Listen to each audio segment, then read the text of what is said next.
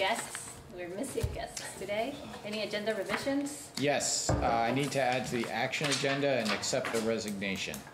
It's not one that will alarm you, you know this is happening, we just need to get it formalized. So five point two, accept resignation. Could I ask that, uh, um, 3.3 board goals just be held until 4.3 executive committee? I think mm-hmm. that makes sense, Bill. They- I think they either way you can they talk roll about it. together. Yeah, I think you can either p- talk about it in there or, and we can add in some of the retreat pieces that go with that. So let's roll it into 4.3. Okay, so It's the we'll, same thing. Or how about, how about this, at other boards, they move four point three like right into the board goals so why don't we discussion. do Okay, that? so Yeah. 4.3 will be part of Of three point three. 3.3. Okay. That, yeah, I can send you the Thank you. email. That came out late last week. Anything else? No, okay. So, any public comments or correspondence? I didn't have public ones, but board ones, I just, we don't need to talk about it, but that data dialogue stuff, I just was looking, that came out the other day, Bill's already seen it, but uh, it's pertinent to stuff we've talked about, so I just printed out copies for people to have. It's about the performance gap between um, low, low, low financial, low income and free and reduced lunch and non-free and reduced lunch, except it's across the entire Northeast. So it's just for information.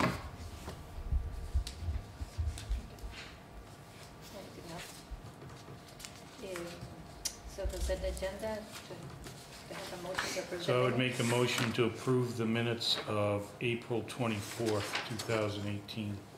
I'll second. Any any discussion? See anything? I read that last week, so I don't know. All those in favor of approving the minutes as submitted, say aye. Aye. Anybody opposed? Any abstentions? Okay, discussion agenda. Three point one, winter eh, student learning outcomes monitor report. I have it up here if you have it in her, do you have it in her? You did Yeah, get it. it. Okay. Um, so if you wanna look up here, you can. If not, I'll look at Um, so what we did is each of the principals were, we were tasked with looking at three pieces of data. Um, our reading data over from fall to winter, and I'll explain what that looks like. Um, math data, and then some behavioral data, so that is what I will share with you tonight. Um, first, we'll kind of review what is MTSS, which is multi-tiered systems of supports. Um, what does our student data tell us, our current state? Some successes, what has worked well? Um, maybe some areas for growth or investigate further, and then support from the board. You've all seen this, so it's not gonna be any surprise to you, but, um, so a multi-tiered system of, uh, support or approach, um, what we call MTSS, is comprehensive and systematic process for assessing and maximizing the opportunities to learn for all students um, within any content area. These bullets are just the importance, so it needs to be effective, culturally responsive, differentiated first teaching, tier one, um, and effective early intervening supports, looking at both academics and behavior.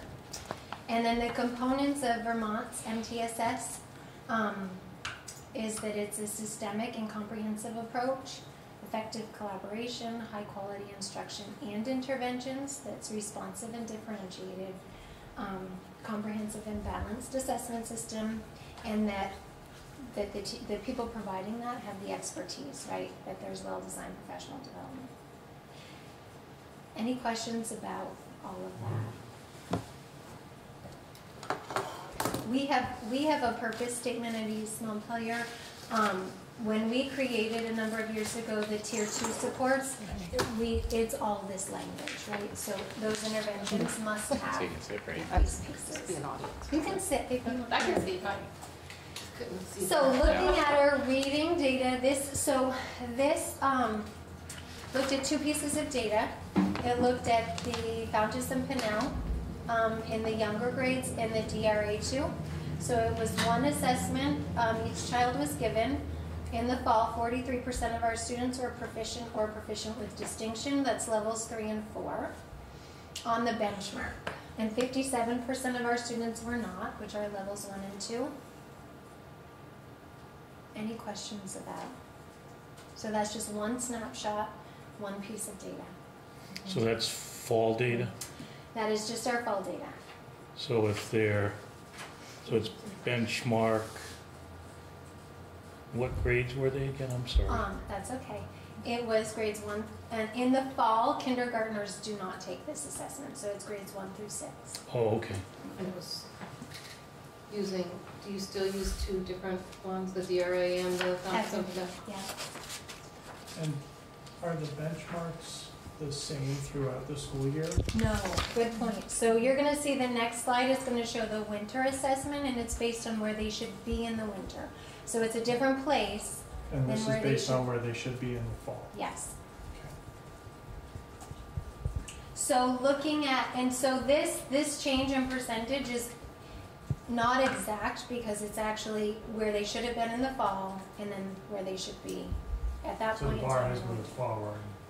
So, Or up? Mhm. Right. Okay. Um, so, but what, I think what you wanna see, levels three and four showing a growth, right? A positive change, levels one and two, numbers going down, which our reading data shows just that. So in the winter, seventy-one percent of our students were levels three or four, and twenty-nine percent were still not. So what it was getting to on the fall assessment, so uh, I'll just pick a grade, third grade. In the fall, they're actually being assessed on grade two. In the fall, they're being assessed at the beginning of grade three. Okay, but it's primarily what they've learned up through and very early into grade three, where the winter Yes. assessment is half or more through grade three? So the winter assessment happens in January, so it's the first, it's most of the first semester, yeah.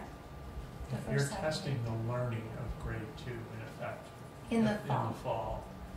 But your, the benchmarks are for that grade level Mhm, at, at that point in the year. mhm.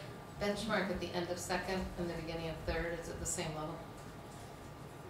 It is at ours, I'm just wondering. It, yes, But we see that summer slump. I was just gonna talk to that. So a lot of what, a lot of what happens in the fall, these uh, fall assessments are given in September, and with a lot of our students, we see that summer slide, um, where we all regress over the summer, right? Just to varying degrees. And it takes some kids, unfortunately, it, it takes some of our students who receive interventions all the way until January, um, to get back to where they started not all, and that's not, that, that's, we don't like to see that. Um, but it's rare to, to find no slide. Children who read a lot in the summer and children who, who have summer services, we see less of the slide. Um, a typical child, you see them bounce back pretty quick. Like once they get into the groove, they're, they're back and they're making progress, but all things to take into consideration. Then this shows a comparison. Um, up at the top, you see the schools, we are school five. Um, but this is a comparison of all the schools and then the SU data. And there, it's all percentages similar to the last slide. I'm, I'll show you a slide that kind of gives a summary of where we're at in comparison with the SU. I- It wasn't in the package. Do we have, we must have, East Montpelier's year to year? So in other words, um, we know this, oh, is that a bad question? Oh my god. It restarted somehow. Oh, well, we've 'Cause got it that's in the our, pa- power. here, I'll ask a long question. Uh, I, I mean, it- It's coming back now. to me, it's, it's, it's interesting to see how we compare to the other schools in the district, but I'm most interested in how we compare to Over time. ourselves. So we don't have the Over data, time. the data's not stable enough yet to start Okay. doing that for you. And we're Because we changing changed, testing we too? were changing testings and assessments. It's Yeah. coming, Alicia, it's just, it's flashing right now. So it's gonna take a minute to come back to project. Um, but yeah, Okay. it, the problem, and that's, we'd like to have that longitudinal, it's just the time of setting up the system, and we wanted to make sure the assessments were stable. And we've been, um, some targets have changed, so then those percentages change and things like that. I can say we have more of that data in reading. It's been more stable over time. We've used the F&P and the DRA two for a few years at, the- at the same benchmark time. Math, we do not have that longitudinal. It's okay. I mean, I, this is very, to me, this is very good, very useful Mhm. data, so.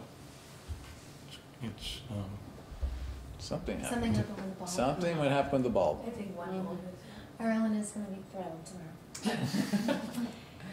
Anything else on this It's slide? coming back though. It might just be uh, one of Um, it- Again, I'm, I- it's more comprehensive, but I mean, it, it- because I had this to hand out today on the Mhm. income gap, Mm, it would be good to see Disaggregating. broken down for East Montpelier by the income gap. Yeah.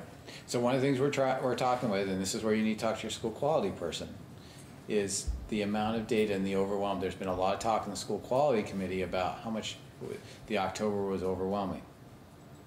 So we're taking a small snapshot here, that we try to give you an annual full deep dive, but not that every time.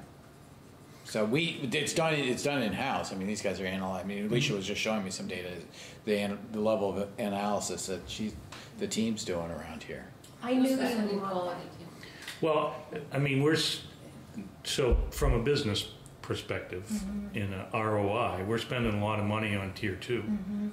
So for that investment, I would expect to see What is that? that our look gap is getting smaller. Right. So I, it's, it, whether it's in this presentation or with tier two stuff, um, I would be encouraged, it, I, I, I strongly suspect we're influencing the gap. Mhm. And it's not all in one Right. area where we're making the improvement, Right. but, So- I mean, we wanna see that. Right. Yeah. But where I'm gonna push back on Stephen is, and maybe this is the time we should parking lot, we should parking lot this discussion till we get to school quality. Because I'm gonna talk about, we need to be doing this across the schools the same. And I'll, I'll get into a lot more about that. We have some of that data they presented in the October meeting that Yes. showed how, you know, like, was this You saw that data whole- and we Yes. saw that whole, hearing which, which we don't wanna stop seeing. So, so Yes. to me is that But that's where, uh, the, let's, Yeah, hold on, so, so that is that, that relationship, I'm, I'm glad to know, I went to the U thirty-two board meeting, and I'm glad to know that it's school five, because I was totally guessing which school is, and, because we didn't say numbers, and I was just hoping, but I, but I didn't know. Eh, but Bill is right, we've been talking about what, eh, how much data Mhm. we, we really want, but not just because of what you're saying, but also because we don't have time to then, um, talk about it after, like we're presented with a lot, a lot of, a lot of data, but we don't Mhm. have the time. So we have also, we experimented ourselves, actually, didn't stay for the meetings, had to take Lincoln with the professor. Eh, he, um, we talked about maybe creating different, we haven't decided, but creating different groups within the board, so we're working across the boards in, in, uh, you know, you focus on this, you focus on that, you focus on that, so that we can actually understand the data, because one thing is just to be presented the data, but then we're not telling them exactly what, what it is, so we're not doing a good job monitoring, right? Because we just like receive the data and then we have very little time to understand it and desegregate, whatever, whatever that is, but we're meeting on Thursday, so we'll know, we'll know more. Mhm. But I also hope that what you're saying, you know, like we all are gonna be working at different levels because we're at different places. At, at schools, but we're not gonna put weights on one school to get another school to catch up, right? We're gonna all keep We working may. together. We may. But- That's but why I'm how is saying you that should have fair? this discussion. You should have this, I'm pushing the SU work floor. And, and I want the SU work, but like in any team or any team sport, you don't put weights on your So this fastest is why I'm runner saying to, you should- you, you use them as a team, right? To Bring everybody. bring everybody up, you know, so that, but that's, that's just my personal. I'll wait till school quality. Okay. I hear, I hear what you're asking first, right? Um, and do know that those are the conversations we have with our data teams when we talk about kids and we look at our data wall and we, we do disaggregate that. And that's how we identify kids in need of whatever kinds of interventions. And we progress monitor, are they make, are we closing the gap? Are they making those, the, the growth in each of these areas? I'm gonna talk a little bit when I get to the last slide about what's coming up with that. Um, but I'll keep going. So here's our math data. Um, and again, it's benchmark, so this is where students should be at the beginning of each grade level. Um, no kindergarten in this data. This is all grades one through six using the STAR 360. Um, so 49% of our students in the fall were levels three or four, proficient or proficient with distinction on that benchmark assessment, and 51% were levels one and two, were not. And then looking again at winter, so this is a different benchmark um, than it was in the fall. But our 53% of our students were proficient or proficient with distinction, so they reached over the 50% line, but not by very much. And 47% were not. And if you look at, and the numbers are so small, but if you look at the change over time, again, you hope to see pluses in the levels three and four, and the numbers decreasing in levels one and two, and it, it's kind of a little bit all over the place. Um, Well, we have a lot of kids in level one, so getting from a level one to a level three is a long way to go. mhm. But one went down, two went Yeah, I, I'm not concerned about one, of level four going down by one percent. I mean, if you've got, if you've got two or three kids that are, had a not so if you just got a couple kids that were right on the borderline in the fall, it- that, And it's just one little snapshot. It is one snapshot, but I think the important thing to note on this is that our growth is not the same as what we're seeing in reading. Mm-hmm. Right. That is my takeaway. Mm-hmm. Okay. and that's been a And that's- consistent difference. Right, that's mm-hmm. been a perennial struggle. Yes. So when you, when you see that math, the, the fall math data before you are able to see the rest, what is, how do you, if it tells you that level one, you're at sixteen percent, on a level two, you're at thirty-five percent, how does that affect what do you do for The interventions? Yeah. Um, yeah, so that's something Bill and I were talking about just a few minutes ago. Um, the good news is if you go back to the reading, um, lower percentages, right, of students who are at levels one and two over the year than in math. Our interventions are mostly happening in math right now, across all grades. The struggle that we have um, and this is, uh, it's kind of skipping ahead, but I'll talk about it right now. So, what we have found with reteach interventions is we have 30 minutes a day. But if you have a child who's a level one or a two in reading and a level one or a two in math, and you have one block of time identified, it's really tricky to meet their need. It's kind of like, all right, half the year do they get one, and the other half the year the other. How do you prioritize? It becomes really hard. So, looking ahead to next year and what made it especially hard this year is our two interventionists the time that they had to provide interventions had been cut so much which we looked at in the winter.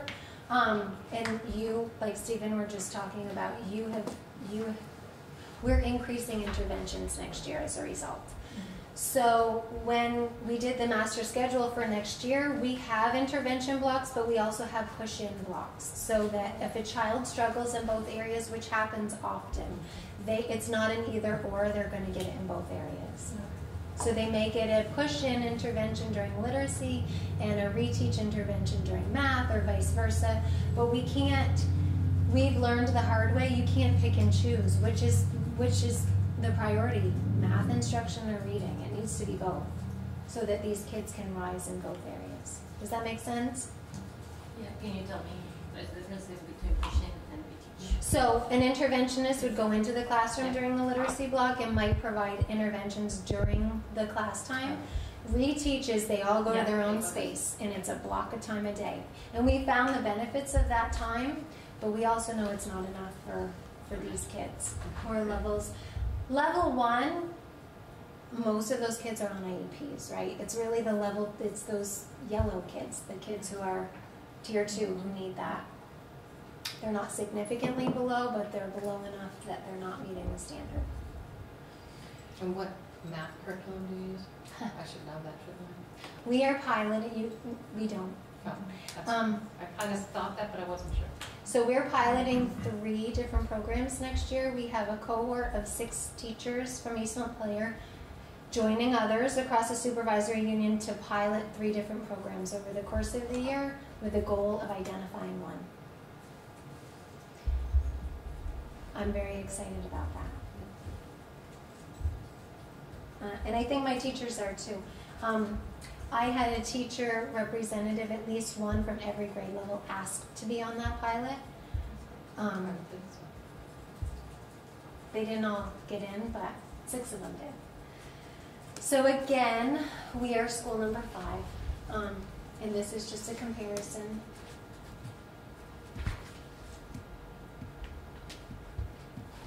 Which I'll talk, I'll give a, a bit of a summary in just a few minutes. Um, so the next few slides are around behavior. I, I shared um, behavior over this year and also behavior over the last three years because we haven't done this in a while. Looked at behavioral data. Um, this is just from August through last week. Um, problem behaviors from least to greatest. The greatest problem behavior is disruption, which may not come as any surprise. Um, physical aggression and defiance being the next two. What's the difference between and disruption and disruption? Um, so there's a major. So there, there's um, disrupting class might be calling out, distracting others, getting up, sharpening your pencil, you know, getting others off task. A major disruption might be throwing a chair across the room. So- What's the PAGG? Physical aggression. Physical, okay, thank you. And the that- other Is That there major physical disruption versus regular? No. Um, so physical aggression here means on the playground, you know, wrestling, not taking your hands off somebody, tackling somebody at football when you're, you know. Our rule, our school rule is kafuti, keep hands, feet, and other objects to yourself. Some of our children have a hard time with doing that. Um, it could be, could be kids aggressing towards adults, you know, kicking, hitting.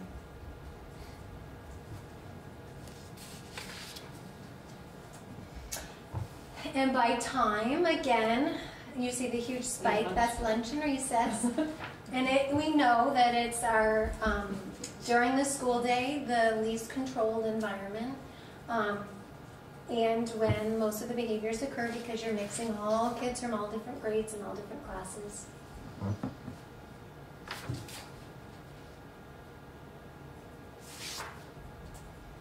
And then this is the three years data, just looking at months. Um, we have a few things to celebrate.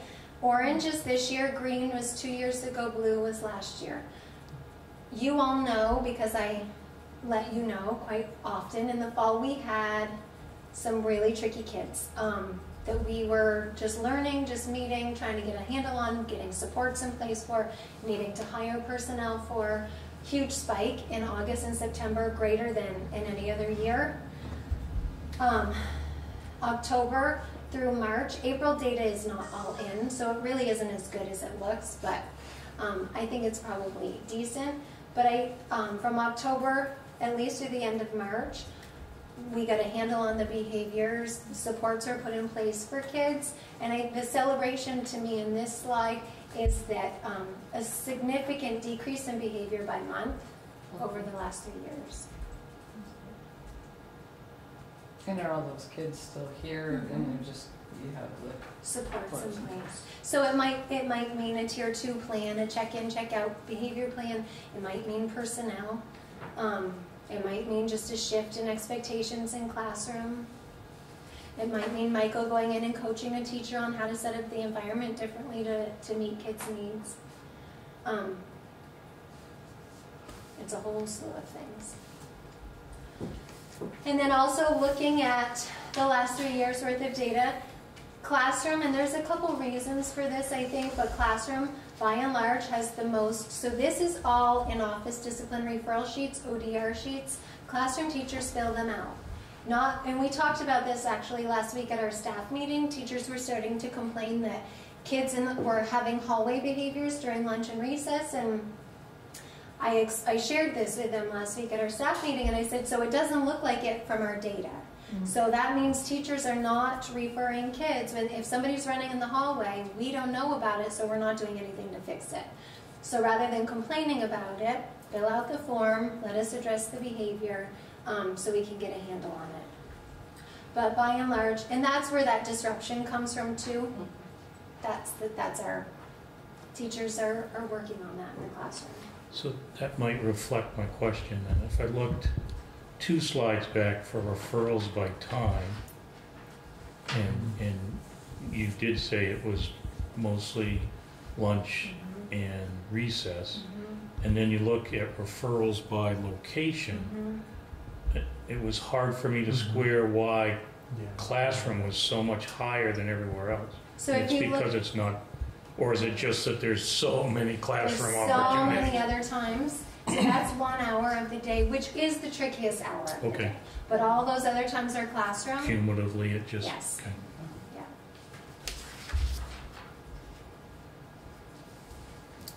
So some successes, our scores are going up in both math and literacy over the course of the year. And Stephen, I know it doesn't tease out our, our tiered um, students and those who receive interventions, but looking at a snapshot of the whole school, we're moving in the right direction. Um, the increase, and again, it's benchmark, so these numbers are not exact, but we're making solid gains in reading, um, small gains in math. Well, I I mean, you're saying small gains, but there was a significant improvement from Mhm. level one to level two too, so that's a was, yes. whether They're still not where they you need to be, but be, but it's still, are. it's still a gain. um, that our students made the most growth of any school, looking at our reading data. Um, that's a, a celebration. And overall, our behavior data is getting better. The systems are working. Possible improvements, our math data is showing, as I said, we're not making the same progress. Um, and comparing our math data with the five other schools, we're kind of right in the middle. We didn't make the greatest growth, but we didn't make the least. Um, we're kind of, we're, we're right in the middle. And looking at our behavioral data, we need to continue working on disruptive behaviors in the classroom. And then finally, board supports. Um, and this is just, I feel like what we have is working and we're constantly tweaking. Like I talked about the interventions and the reteach block versus next year looking to do it differently and having um, more times for interventions, but just continued support around the coaching to increase teacher capacity, especially with tier one. And then continued support around tiers two and three for those who need it. Any final thoughts or questions? So this is really holistic. This is just school-wide snapshot. And I, so I heard from some of you that you appreciate more the fall monitoring that has really a ton of data. How did, and this is new, we have not done this. How did this, do you feel like you have a, a picture? Yeah. I do. Yeah. I think it is good when you can disaggregate it, but we could do that with SBAC data pretty easily when it comes in, which is another snapshot, um, to see Yeah. in, um, a, a different system, but it's going to give us reading and math, Yeah. literacy and math. One thing that I was showing Bill just before we met, uh, or before we came in, So some of our SBAC data is already here, which is exciting. Um, and what you saw from this, the results from the STAR 360, um, there's something, there's a way to look at that that kind of projects how they think a student will do in the in the SBAC. And so we did a comparison for those results that are in, and it is so closely aligned, which was exciting because it's not been in the past. Um, so I feel like that will that will be helpful to us. All right, thank you. I'm glad this came back.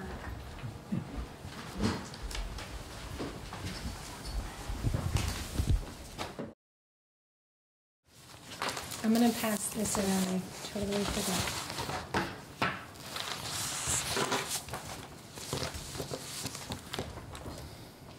Okay. So three point two board observations. Again, Maybe I can start a little bit. I wish I had stayed last time. Uh, one main reason is for the kids. Um, I think I could have given you a little more support that I hadn't communicated. Jen, I debriefed with Jen and Alicia afterwards, and there were questions about the form and the usage of it. Um, one of the things that's been found, and I, um, is that most people are not using the form while the kids are performing. It's taking time afterwards and really in silence and Mhm. filling it out afterwards.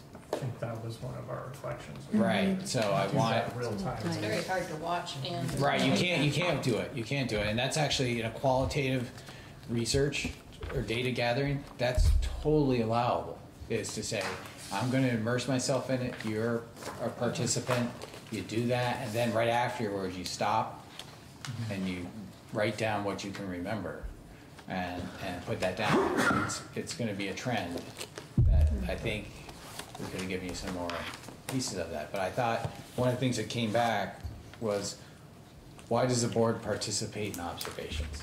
And that that needed to be talked about. Why do you wanna do that? Why do we want to, or? Why, why do you? Why do you wanna do that? I mean, why, do- why is that, imp- is it important to you to do that for monitoring, or is it important just to see what the kids do? I mean, that's what you need to decide. I'm not trying to say it's an or, as in an or, one's better than the other, but you need to decide what your purpose is of that, and I think that's a step missed in this, uh, piece. Yeah, I think think we what talked was about one of it, the yeah. reflections is that we didn't have a clear, we didn't have a clear idea of Right. that question. Right. So, uh, on top of Yeah. trying to do it real time, we found ourselves adrift because we And were something trying like, to do something that we didn't have a direct Yeah. purpose Right. for either. And I think that's part of the piece of just what we got into sidetracked during Alicia's, why do you monitor? You Mhm. need to be able to answer both of those questions and to know to what depth monitoring needs to occur. So, I also think seeing something like that, it's almost like getting a finished piece in writing that's already been typed. Mhm. All the work that went into it, when you're putting down proficient or not proficient or whatever, we were watching them do a wonderful presentation. Um, But I'm not comfortable saying that they're proficient in whatever. we weren't, but- a- we weren't asking that. We were asking, did they, did you see that they had a chance to learn in that area? Mhm. Not whether they're proficient. It's, it, it, and Lindy, I think for you, it might be the hardest because you're teaching every day and say, I gotta take myself out of that teacher mode and stop assessing their performance level. And I, I just was not sure that's the role of the board. And that's a question for you guys to talk about. the role of the board, I mean, in my opinion, I loved seeing what's going on in the schools, because I don't get in here every day, my kids aren't here anymore. So that was, their displays over there, all of that was very informative as to what's going on on a day-to-day basis in the school. But as far as a board observation type, if I come for open house or something like that, just going around seeing what's going on is, um, and if I have a concern, then maybe I'd bring it up, but I don't know. I, So maybe the question is more, there's, there's, I think we all feel that there was value in that presentation. Um, The question is, was it, was it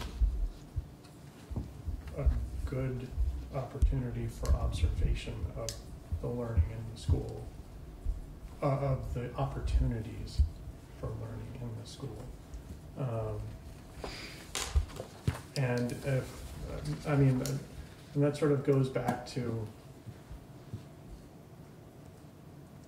I'm a layperson. I have no window into education. Like I know more acronym soup than probably the average taxpayer does, but um, but I'm you know I'm not qualified to make I feel any sort of um, judgment of even, I'm not even comfortable necessarily with saying, yes, the opportunity for this learning existed. Um, and I think it sort of goes back to, like, we, we give, we hear feedback about what you guys need from the professional educator perspective. And we empower you to deliver education as professionals because we're not. Um, And so I think the last piece for us is, you know, sort of like the, the prove it, like. I think that presentation and I presentation, think this has way more value in terms of um, a data-driven approach that says, you know, our education dollars, but right, I mean, that sort of goes back to the fundamental question of, of monitoring, right? Where the, where the fiscal and, and really broad strokes stewards of what happens in the building. Um, so, yeah, I, I don't have a clear answer. Um, I- Other than I, I felt like that presentation had great value. I just don't know exactly how to quantify what that value was. I- Yeah, I, all found the form difficult. Yeah, I, I definitely found the form difficult. What I found enjoyable is the broad, the broadness of the presentations and that the kids found a subject matter that they could be passionate about and take it and run with it, which I think everyone learns better in an environment that they can be mm-hmm. passionate about the subject. Mm-hmm. So I think from, that's what was value, you know, yeah, a little bit more valuable to me than. I was, we talked a lot about, I wish I remember, I don't have my, I have the, the monitor stuff, but I don't have my notes of that meeting, but we did, I, I thought, I thought that what we had said is that what was valuable was that we were able to, eh, if a parent approached you on the street, like, like we, we actually had some connection with the kids. To me, I agree with you that we're supposed to monitor from further up, but the, the further away that we are from the success or the, or seeing the actual kids and not just the numbers, it's, The it's less of a story we have to tell. Yeah, it's the, the- we, we're not, to me, we're not as connected. So I, I'm not as worried about like, you know, how qualified I am to say that, it- because I, I'm not expecting this to be used to, to monitor a teacher or to say mm-hmm. that a teacher is, it- it's more about, the, in, to me, in the big picture. I, it was so amazing to see the energy, mm-hmm. How much time they could spend, their, the way to, to speak to us, you know, not just to us, but to present themselves. You know, and the use of technology and helping each other when the technology was not working. So, so to see what we're learning today, but in actual, you know, Mhm. not in numbers, but in pictures. You know, to me, that was that was valuable. I think we did, we all agreed that we needed a little bit more work as a as, as a board in knowing this. But we've been talking also. That's what we said. We've been talking so much about student learning outcomes, right? We mm-hmm. we helped say what that was going to be. We did all this work, and then this was like the perfect example. Like I'm a learner of visual. Like I can read all you want, but when somebody presents something and like, oh yeah, that is totally transferable skill. You know, like Yeah. it connects those Yeah. student learning outcomes in a way that you can talk to a parent too. So we're not talking educational jargon, but Right. This is what I meant. But it's just my take on. it. So it was, you know, we don't need to do it every board meeting, but it's to me, it's I agree. important. I, no, I, again, I think we all, I think we all see the value. mhm. I think what, what we're wrestling with is how to quantify what it is that we're looking for in these observations so that, um, like, what I just heard you say is that, or maybe my interpretation of what you said, is that what we're looking for is a way to tell the story of what's going on in the building, right? And, and that's different than trying to get some, some uh, data or some metrics, right? We're, we're not trying to measure specific metrics necessarily, or maybe we are, but I think that's the conversation that, that the bill is looking for, why do we participate in observations? And I would key off of that and say, what is it that we want as an outcome of an observation, right? So that we can give them, I, I mean, That's that give you no direction. Right. But you did a brilliant job. Um, But Give it all we, to her. you know, but we're trying to hold ourselves to some standard that actually didn't, didn't mesh well with what was being shown.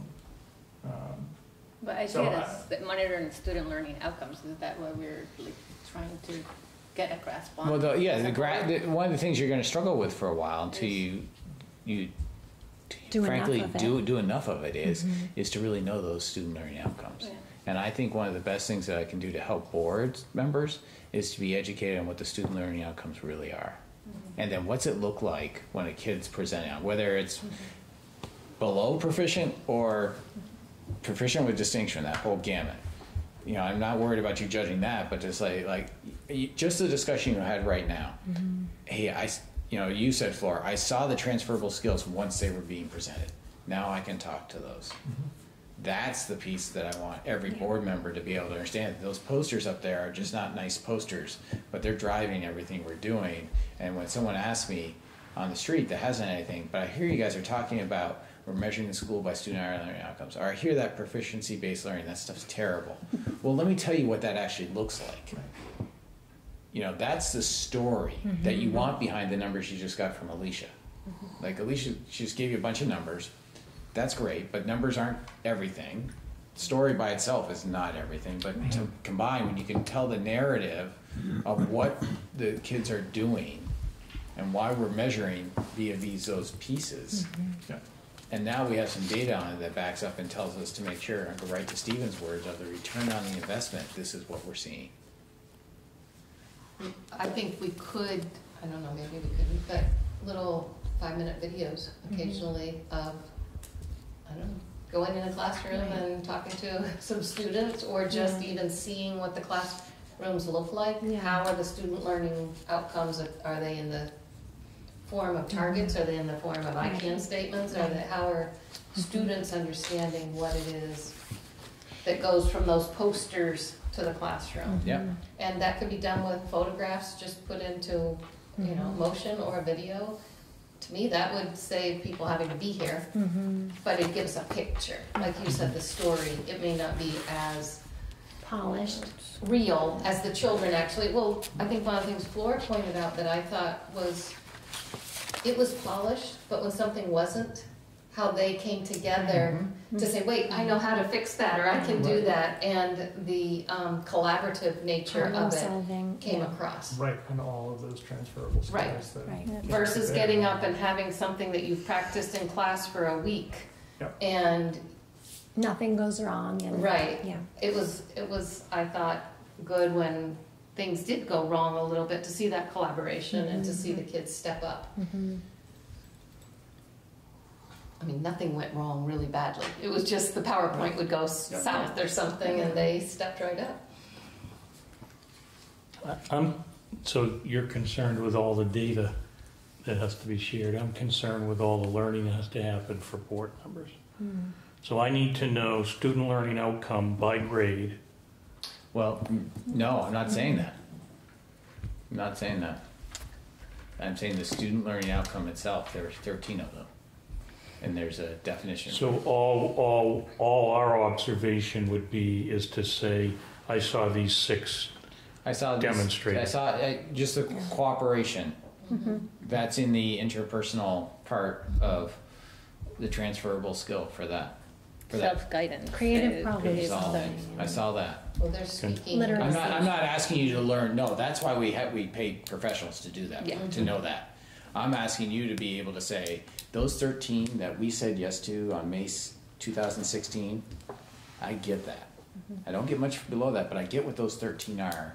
And I can tell you what each, I can tell you, if you ask me what mathematical is, I, ex- you know, we expect them to be proficient in their math, not only procedural math, but to conceptually understand it, and that's what the standard says. But, but I think that's part of what you're hearing from Ruben. We can't tell you the profession, proficient. No. We can just say we observed that. Right, right, that's all, that's all I'm asking for. evidence Okay. There was evidence that they had a chance to show their level. Okay. That's all I'm asking, and not, I'm not asking for you to judge the level. Just that we observed that outcome. Yeah. Because you, so thinking about those students, there was a range of ability of those mm-hmm. students. You probably saw it in their speaking and you probably saw it in some of their, mm-hmm. right?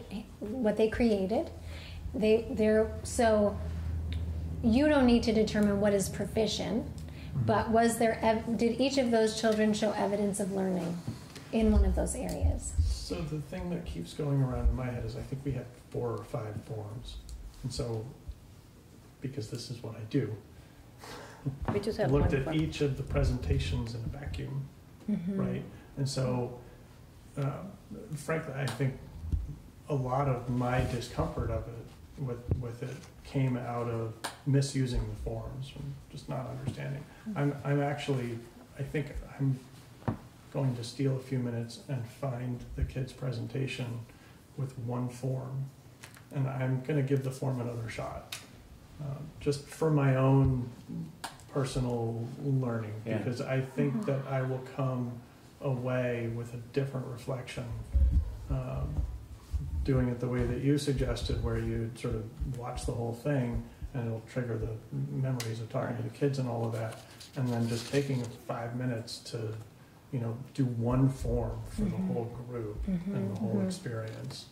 Um, And I have a sneaky feeling that I'll be more, more comfortable with the form in that, in that format. Right, I mean, they, I've seen the form used with one student, and I've seen it, as you did here, this was probably the most I've ever seen. No, I shouldn't say it, because Kari did it with the middle school, with a middle school presentation from every middle schooler going one hmm. time when he was down there, and a couple other board, I just remember Kari, there were a couple other board members down there during the middle of the day. But, I mean, the whole team was going, so, on presentations. But I think it's, I think it's harder the more students you have, but it's, the mm-hmm. idea is it's holistic. Right. It's Right, and not, That's where I. it's got holistic. All twisted You around. can't break it into its parts, yeah. Yeah. It wasn't I- I about your tried to. diorama. No, That's just a summation of what did you see? Right. Yeah. And I, I think what I liked was the, the- that differentiation of, you could see the kids were at different levels and their comfort of, you know, their Mhm. comfort of explaining or, or how. Some didn't speak at all. Some Some, only had all. something, right? Some- and they and were there were- backup support in other ways. Yeah, yeah, and uh, how passionate Mhm. some of them uh, were. Like, you know, like my son doesn't like to write too much, but he was writing about football helmets, so he was like writing away. Well, and his Like, presentation was amazing. Yeah, and I'm he's just like he- totally he into it. that It was like- PowerPoint. He was and his just like confidence. he he loves he loves talking sports. So he can, Yeah. any data, any like he Yeah. will just tell you. But it was like you know like it was exciting to see him so excited about Right. school, right? so as a parent, it was just like and and Isaac, you know Ryan, you know like his volcano, all of them were just so eh, so excited about school. that was what, and you don't get to see that always, right? As a board member, unless you're Right. here, uh, you know, a lot.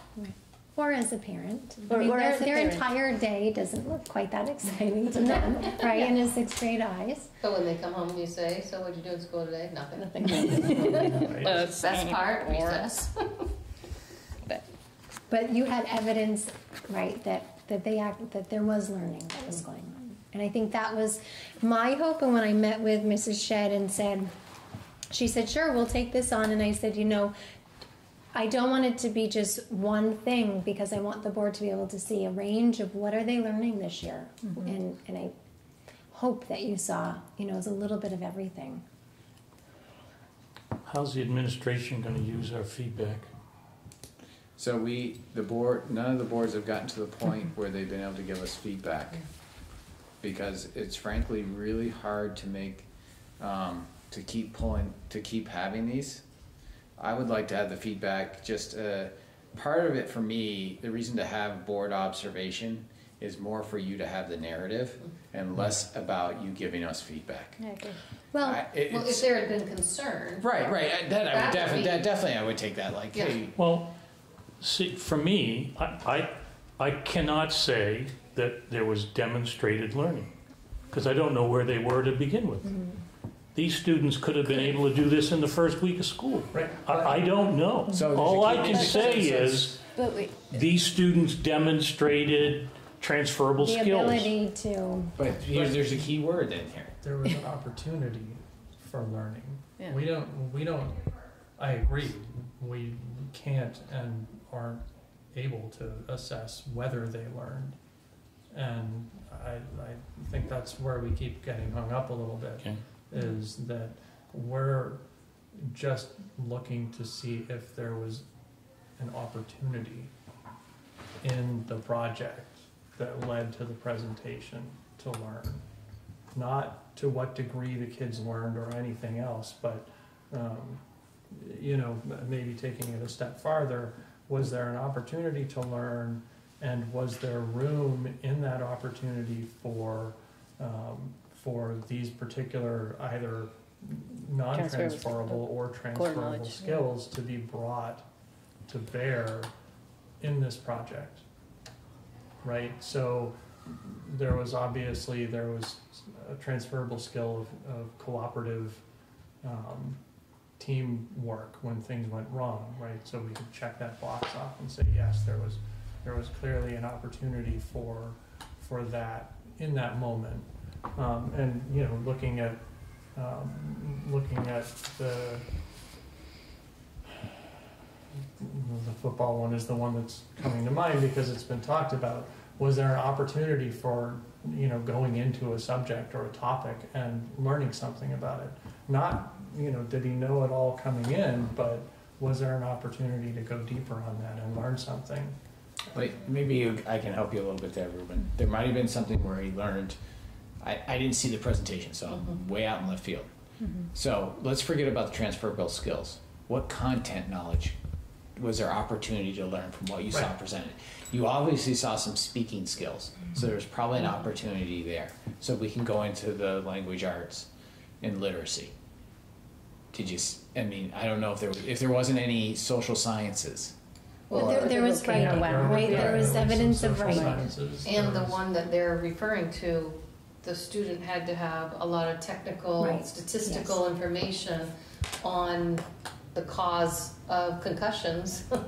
when you're hit repeatedly. So there had to be some math and Mhm. some data and, There was some data all. anal- Yeah. analytics going through and probably stumbling over some bad data and, Mm-hmm. or at least one could assume Yeah. that that may have. But I'm trying to find one. There's a con- there are some content areas, and there are probably some transferable skills that weren't there.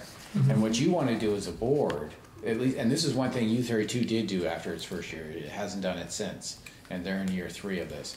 Is they looked through them all and they said, "Did we see evidence What of did we all the miss?" different transferable of all the?" At that point, it was core values and beliefs because it was before 2016. Yeah.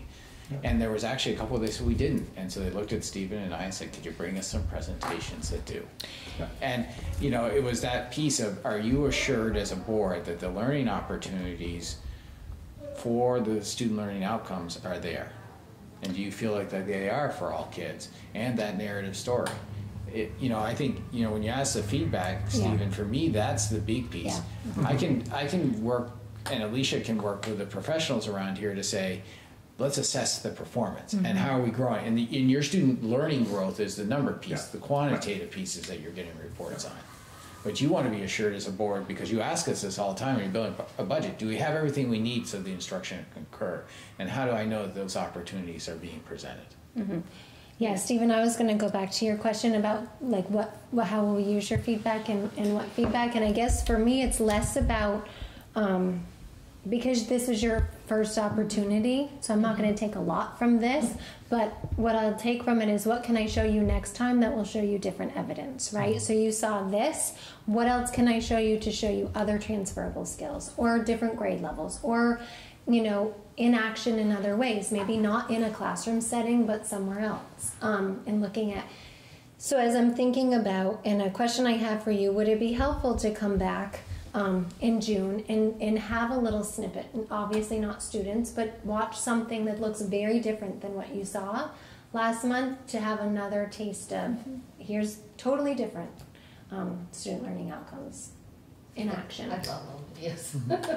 Yeah, that'd be, classroom. yeah, that'd be great. And I I was gonna. build it for these four. No, but, but I'll Stephen, come I, would, along. I wanted to say, I wouldn't say that, I would take it even a step further back, because, you know, we all have been in the board for, you know, way too many years, and we, we don't always get to see, we don't always get to see, and t- to me, this, it sort of put into action everything, I think, like, I know that our behavior is doing better, and seeing them interact, helping each other, or even keeping track, it was a pretty long presentation for all of them to stay still and, you know, be engaged. minutes. they and then they didn't really need to present they they they were given a choice to present it was not like they had this like there were more kids that wanted to present that spoke a lot. So as as far as taking it was a snippet on time for this particular child that some of them some of us knew from from before. There were several of them that like i felt i knew from before and how they have grown. To me that was different. But even if it's just this minute in time right now mm-hmm. it's important to know that they are capable of doing this much. You know it just shows you where they are right now. I don't know how to explain it that you know like as, as a child they're doing well you know like So- it's a well-rounded Stephen, are you, do you not think we shouldn't be doing these board op, I can't get a read from you to. No, I, I'm not, I- I'm not against it. I- I just, it, it's not far enough down the evolutionary process for me. I, I mean, as a general statement, I don't care about learning opportunities, I care about results. I, I don't care. My assumption is students get learning opportunities. I'm not concerned about that. I want students that can read you and want- write and perform math. what? I don't care how many opportunities they had, right? I mean, that's why we've gone to tier two instruction, because they need more opportunities. It's not about that they had it. Yeah. I, I, I- I'm sure we're in agreement that our school provides learning opportunities, Yeah. but I could be wrong, so that's where we could be. Mm-hmm. uh, But to me, it totally reframes how I do an evaluation. Maybe the evaluation isn't what I see, maybe it's what I don't see. I didn't see any of these things. So then for the adminis, well, it doesn't matter which way. Well, you you can go. go either No, way. but Yeah. that, yeah, that would Yeah. give But me if- the if same Alicia information. and Bill were like, boy, math skills are awesome on this presentation, and Right. none of us say we saw anything Right. on math skills, then there's a, it's, So it's a disconnect, there's no mm-hmm. alignment. Mm-hmm. But it, it could go, you could, But I think even just having those conversations is Yep. helpful for all of us, right? Yep. Like, what did you see? What did we think was there? What? And s- okay, so next time we need to show evidence of, so that you can. I think for me, the goal of these are so that you can see live and in action. Because next year, only two of you are going to have children in this school. That's not very many, right, on a board. We're So most of you are not going to see these opportunities in the day to day um, or week to week, or you know how often you're here. So for me, it's to show you evidence that this is what it looks like in action, whether it's in a math class or it's coming to speak to you or it's out on the playground. Um, And I think there's a lot of value there. It's just a different value than what we thought we were trying to do Hmm. with this form. And I think the And data is so- also a way to get that information. And so pivoting off of what you said, I think it, and uh, actually sort of stealing Stephen's point, um, I'm not interested in seeing what I don't see. What I'm more interested in is you, as the professionals, will have an expectation of what you think is being demonstrated. And if there's a delta between what you think is being de- demonstrated and what we saw, mhm. because that will be more informative, I think, I think, um, than, um, than us either, you know, looking really specifically for things or, or looking for the absence of things. I'm not gonna catch the absence of anything. It's just, it's just not how I work. Um, so I, yeah, I feel like I've talked too much about this, so stop. well, no, understanding how it can be used makes Yeah. it valuable to me. Yeah. To me, it's, I think we'll get there. my, Yeah. my biggest piece is, is education for the board, less about, Mhm. and that you know, it's a way you'll get to understand those SLOs. I think we have all, Yeah. or we're all getting to that being the primary value. Mhm. I, I didn't go into this observation with that being the primary No. I know that. Um, And I, I think Never- it's okay to, I, I th- I think it's positive. I think this, this um, conversation is positive. Mhm. uh, Because there is very strong value in being able to communicate to folks who aren't in the school every day what's going on. Well, then I gotta push back against that. I, I- I don't think board members should be saying, I think board members can say, I've seen these student learning outcomes mm-hmm. demonstrated. But, and that's why I said I would have to understand grade rev- level, proficient and not proficient and all that. I can't say that the school's doing a good job or not a good job. I can't say if any of those students were proficient or not proficient. I can't, and I don't think a board member should be saying that. If a- I- I If a parent comes and said, you know, was my student proficient in that Mm-hmm. presentation? The answer should be no, talk to the teacher. Right. No idea. Yes. Um, I think we can utilize, I think we can infer between what we see in the numbers. Like if we use the numbers with what we're seeing, we can say that whether they're doing a good job or not. Because if we're seeing the improvements in the numbers Mhm. and we're seeing, Right, Opportunities. a lot of feel-good Opportunities. presentations in the world don't help if the numbers are not Right. going in the right direction. Mm-hmm. Yeah, and I, and I think for us, it's a little bit harder to judge any of the core knowledge part, because we, that's not what we're doing, but, you know, to see some of the transfer of skills, I don't think we'd be crossing any, you know, saying anything terrible today in, in the period we were trying to engage our community, saying, you know, like, I, I saw really motivated kids, you know, like, I saw engaged uh, students, like, so good behavior, or, you know, like, Effective communication. effective communication. Like i just saw them that have self-direction self-awareness. You know, i don't i think those were things that as human beings it, that are working in the big world we, we can we can see and people are gonna see it in orca too.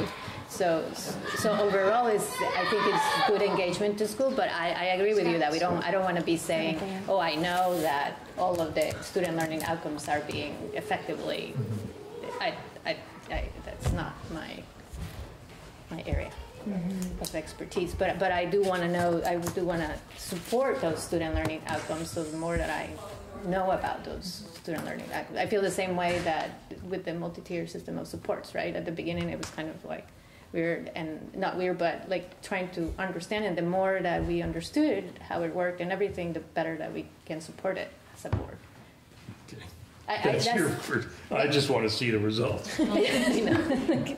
Tease Doesn't down. matter how well intentioned and how enthusiastic and how well people work together. If, if they're not improving, Yeah. then we got to find it. I'm not saying we don't need to invest, we need to find a different way. And I mm-hmm. think, Yeah. I- I- what I'm seeing is it's working, so mm-hmm. don't get me wrong. Right. But to me, that's what, that's what we're here for. Mm-hmm. But true. But I, I, I, I, I think we continue to work on it and refine it, and I think it's gonna be valuable. I Yeah. just wanna encourage us not to, not to become evaluators and. Mm-hmm. Yeah, I, yeah, I don't think we I- wanna be. I don't think you yeah. have anyone, at least for me, Okay. I- I'm Nobody. gonna get, I- that's one thing I've been really trying to say with all this work and worked with Calais and U thirty-two about is you are not evaluating. Okay. You, And we don't want you need a credential to do that. Yeah. Right. You need an endorsement, Yeah. a Vermont licensed our job. endorsement to do that. Okay, Okay.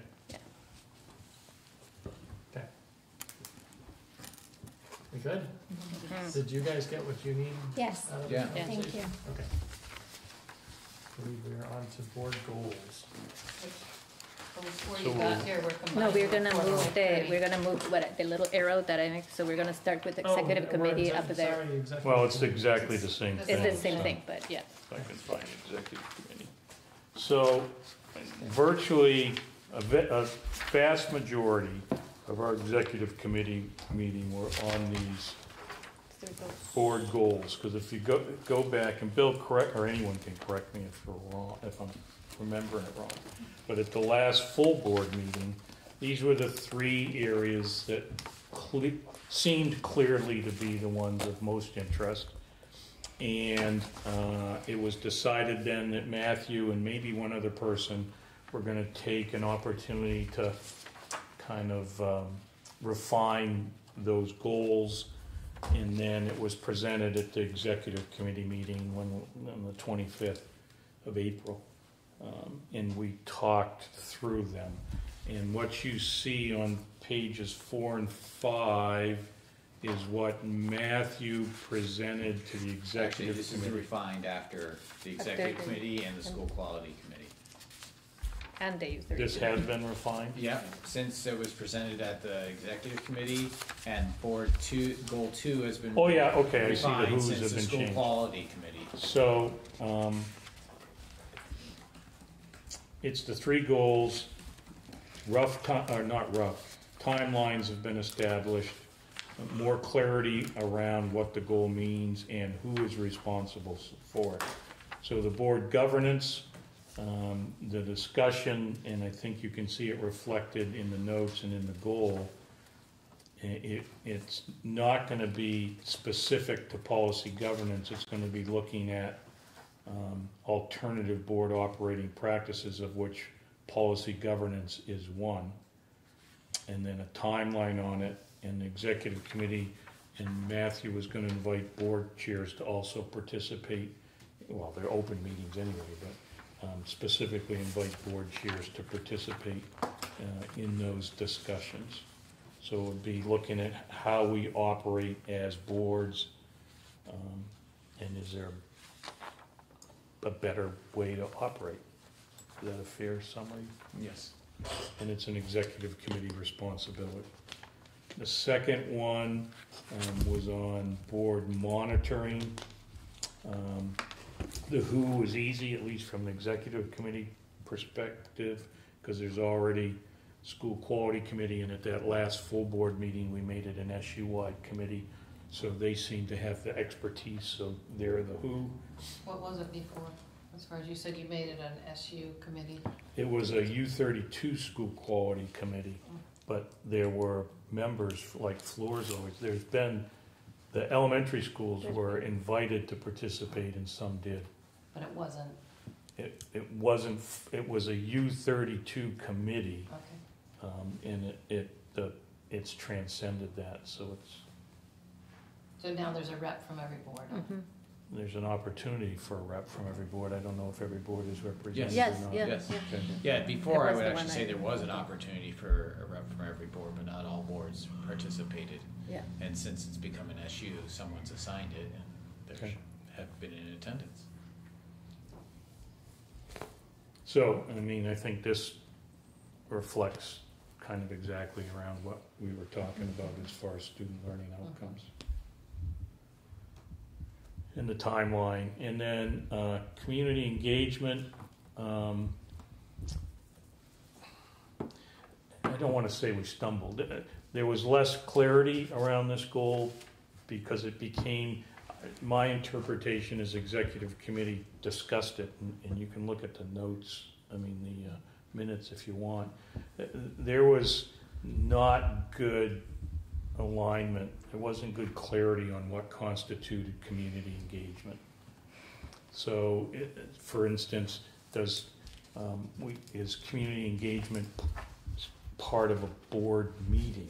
Is community engagement outside of open meeting law? You know, um, I think in basic terms, th- there was, uh, the two main, um, it's not conflicting, differences of interpretation of community engagement was, for some people, it was, we want the community to answer questions for us. And for some, it was, we want to provide opportunities for the community to get involved and, and um, discuss what, less structured and, and more, you know, you know, the school board is interested in multi-year budgeting. And then, you know, is it, are there, I'm making stuff up. How, is- have a are forum community or mem- something? No, not a forum, just, What- are there people that are interested in that and want to provide, get together and talk about it and provide some input as compared to we want some specific feedback on something, um, because those are different. So it, it, and you'll see it in the timeline, that the, the first thing to do is, you know, exactly what do we mean by community engagement, what are we trying to do? So it's not that the executive committee is trying to push it in any direction, there was just lack of clarity, so it'll go back to the full board to, um, discuss, and, you know, what do we wanna get out of it, what do, we- what do we mean by community engagement? Could we use that tip that we got at the um, public agenda meeting? Uh, Remember- That, that was discussed, um, you mean in the SU? Well, no, meeting? it- it- she, you remem- remember when, when Nicole presented the, um, so the open meeting law at the end, you know, just to explain the difference, she, I, I thought this was really helpful about the, t- exactly what you were saying, the two different, how important both are, but how different they are, and then we can decide where do we wanna concentrate, and I think we wanna concentrate in, in Well, we don't know where we wanna I think, Concentrate. so I think there's, there's a few, three Yeah. people Yeah, that, three or four people have had some training with Matt because someone last, the spring, uh, almost a year ago, to one of his workshops over in Lyndonville. yeah, that, Um, but I think what I'm reading and where Matthew has gotten to, and he knows, um, it was Nicole that was up with, not Nicole Mace, but the other presenter with. uh, Nicole, Nicole. Nicole Cabral. Yeah, and, um, she and Matt have, have been colleagues before. Yeah, And so, one of the things that Matthew was talking about is investigating right now is if that's our retreat, is to get people to come together and say, let's figure out what we mean by engagement, but we all need to go through the same training yeah, to yeah, have yeah. that discussion before, we're just having a few, it- so I think, I know on the thirtieth, Matthew will bring a lot more details because there's already been enough people. We have fourteen, and that was as of last Wednesday, that have said, yes, Mm-hmm. we can make a meeting on the second of October, of August. So Mm-hmm. he's like, I think, he asked me what I thought, and I said, I was in agreement Just with him, let's go forward, let's start moving. For an SU-wide retreat, So, uh, it, to look at some. goal three is still Mhm. evolving, whereas goal one and two, I think, are a little more, there's more clarity on, um, what's going on. Okay. So, So that's three, three, and four, three, if there's any questions. And I gave you a little bit of the update on the retreat, um, as of Wednesday, that's, I haven't talked to Matthew, I'll talk with him tomorrow morning, he and I are meeting to work on the, uh, executive committee. Uh, we haven't talked since Wednesday of last week, but he, um, and that's why, if you, if you didn't respond to the doodle poll, I did, he sent people an individual email yeah. saying, I'd like to know. I what didn't technically respond to the doodle poll, but I emailed him. So that works. He's doing it either way right now, but he's, he was Because trying to get back gave me to, option. he only had three people that, three people that said no, and one of them actually changed when it started to hear that number, so I Well, I think we're said good. no. And that's okay, that's what happens. It's our retreat where I Yeah. work. Oh. But yeah, And maybe the thought- only other With the thing from the BPA. executive committee I'll highlight, um, is two, four, if you're looking on page thirty-one. We did have a discussion of the hiring process for special ed, um, and that's the, I specifically said we were gonna be talking about that and brought Did you use our the feedback. Tip. So- page was that? Hmm? What page did you say? Page thirty-one, two 31. point two point four, hiring process for special education staff. All the boards are in alignment except for one. Yep, I read that. One board still wants to interview candidates as a board and make the selection themselves The board interview candidates. and selects. Because they do. I only take them once. I I know, don't listen to that. I know. But it All was, statute. it was interesting, um, the, and you can see it is from some of the notes, the, the, the discussion for the boards that don't do that. Yeah. We're like, I see it. we're surprised board members would think they'd be better suited to hire someone. I than- feel like we pay some big bucks to some administrators, so. we That's need the something to feeling do. in all, all, all s- schools except Yeah. came up at policy meeting too. But it used to be, that used to be the policy all around. That's how we used to, we used to interview. But, but there was always a committee before an interview at the very end. there were the two people would Two come. people But I think Not- SU-wide, uh, I'm talking many years ago, I think that was more standard practice. Two thousand eleven is when the statute changed. Yeah. Yeah, I don't remember us interviewing, the only. Anyway. Besides, the No, we- committee we- brought we used somebody to- to you, even when I was hired twenty-something years ago mm. here. I think the executive committee and the administrators heard that East Montpelier is satisfied with the process. You think? Do you guys, did you hear that? loud I and heard that. clear? Yeah. Okay, Hear that. okay. With a little caveat, but I heard that. Oh, did I have a caveat? Yeah, your caveat, as long as it stays the way it is. Well, yeah. I can't agree with a policy that You doesn't. can't I'm totally. honing my tell your negotiation skills, Bill. Bill, Bill, you were saying, you shared a little bit about the retreat, uh, and you, you don't need to say if you can't right now, but I thought the retreat was still gonna be both things? Both, I, I The don't know. trauma and the, Yeah, I just don't know that we can get it all done.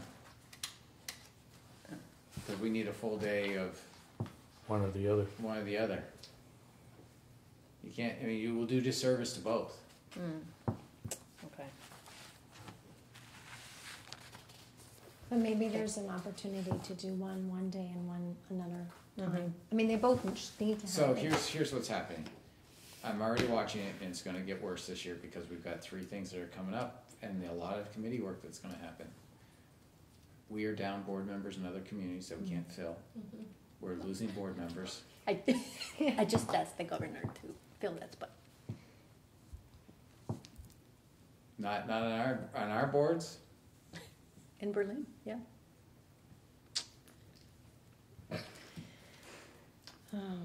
so, um, we are down people and we're burning people out. And I have more and more people saying, I can't do more, that are your fellow members.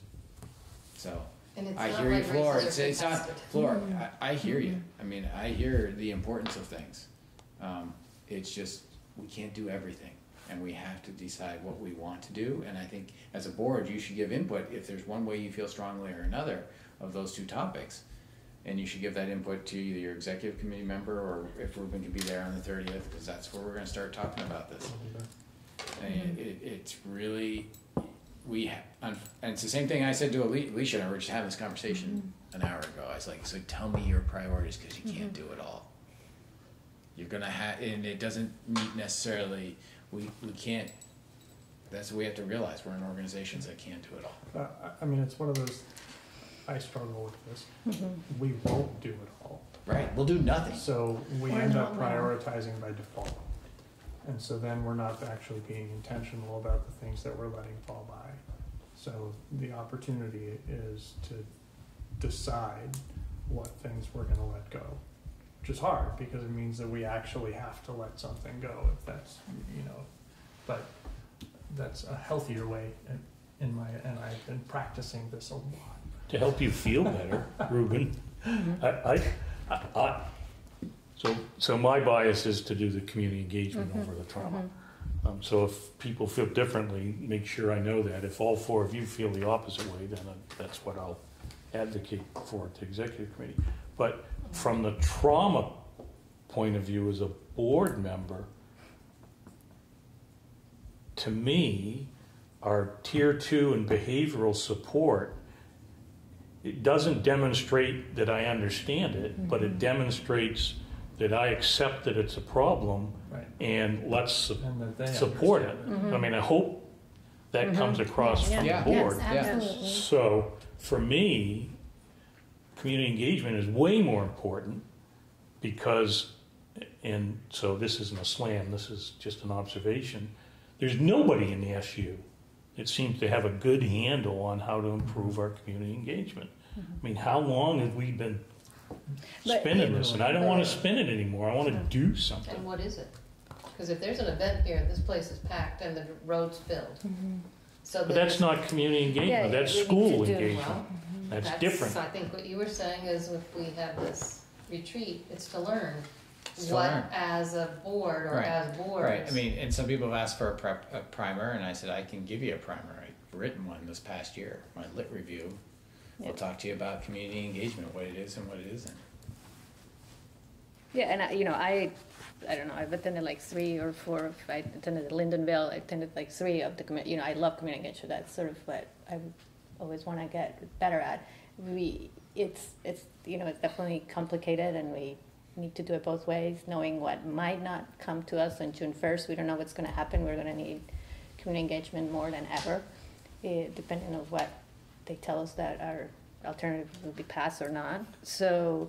eh, Don't one to of- hear anything from anybody. but, but you know, Anyway. we'll we'll start to hear we'll start to hear something. But and, but at the but at the same time, I feel like some of us, or at least our our board, because I don't I I know most of the other board members, but maybe not as as well. I just feel like the it's, it's hard for me to decide one, you know, one or, or, or the other because the trauma educates you in a way that you're more aware. like, We are affecting kids Yeah. eh, left and right all the time and grown-ups Can we do that? and As a and, and, and grown-ups and it's just like as a, as something as as growth as uh, as human beings and understanding each other and how do we make decisions is it's amazing. It's something that the state is really invested on. So it, it, I, i'm having a hard time truthfully mm-hmm. dis, deciding what you know we support our tier two and, our- and but i don't i don't think that that's necessarily how we feel across all of the all of the schools. I don't I don't know that everybody really understands the depths of of trauma. That's how I felt For me, wearing my school board hat, I think the community engagement piece is, is a higher priority. Personally, I would really like to do the, the Yeah. trauma and resilience work because of everything that you just said. But in terms of where it comes to bear in this very small microcosm of my world, I think the community engagement, for me, I would prioritize that. Even though personally, I'm more- Yeah, and I, So, I so the limitations on the dates available for the SU retreat were based on administrators, right? So every, all of us, to, all of us as a collective group, and for me personally, but that's true for most everyone, have something scheduled for every day except for the second of August, because I held three days for two days of administrator retreat. So I gave the administrators, because I had promised them they would have the other three days that week, I gave them the news last week. You mm-hmm. don't have three days anymore, now you have two. I was just wondering if there was room for another day. somewhere. another day, if we Seriously. don't include the administrators, do we need to? So here's what I, here's what I, here's what I heard. trauma, Or do we need? So, to- I would it think- make so- sense to have you there? I think, I'm just, I'm not even gonna qualify, I'm just gonna say, I think you have to have your administrative Okay. team there. Because something that Ruben and I are, have worked on together in another realm, this needs to be a together, a retreat is about togetherness. I understand, I just, I, I agree, I, th- I, I'm leaning towards where Flora is, I think it's pretty important, and I'm, I would love to fit it in somewhere. What, the trauma part? the trauma. And, um, To me, no, go ahead, Alicia. I No, you no. To me, the, the place for trauma, i- this is to me, isn't it a board, it's at a community forum. It's less about board members knowing and more about community members knowing. I think that's a Community really- engagement. Yeah, but it, you know, it's kind of ironic because the, the, the trauma thing, the the SU retreat started as a trauma thing. That's how we said that we wanted to have an SU That's retreat to do the trauma. We kind of Yeah. spin it out from here, but we could have that at different schools. I felt like we owed it to the to the staff too because everybody like as far as continuity, you know, like the the staff hasn't had the community engagement. In this case, we would all have it together, but the staff has been working on the trauma and stuff. So I, I'm not trying to make it complicated. I just don't want to like totally let it slip. Mhm. So maybe there's other ways to like holding. We own the movie, and maybe we hold one night at Calais, one night at East Montpelier, one night So I've, I've gotta say this, What? it, that movie works really well when you have skilled facilitation. Yeah. That's what I for that. And So then you'd be talking about five or Yeah, six. it's one of those things where um, I actually think it's better as a community piece. I agree with Stephen on that. Um, and you know, we've had folks that have, have done that with that movie, have facilitated that. We also have kids, high school kids, that are very skilled at facilitating the, the, the community circles and those So- discussions. Could we do something where we, maybe it is, maybe it's an evening and we invite the community and the board and we have a facilitator and we show it at U thirty-two or something, I just, um, Mhm.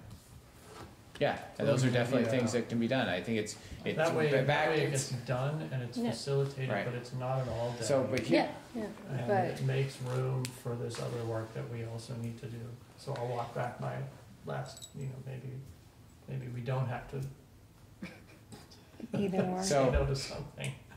well, well, that, I- that's all I was trying to So say. that's where,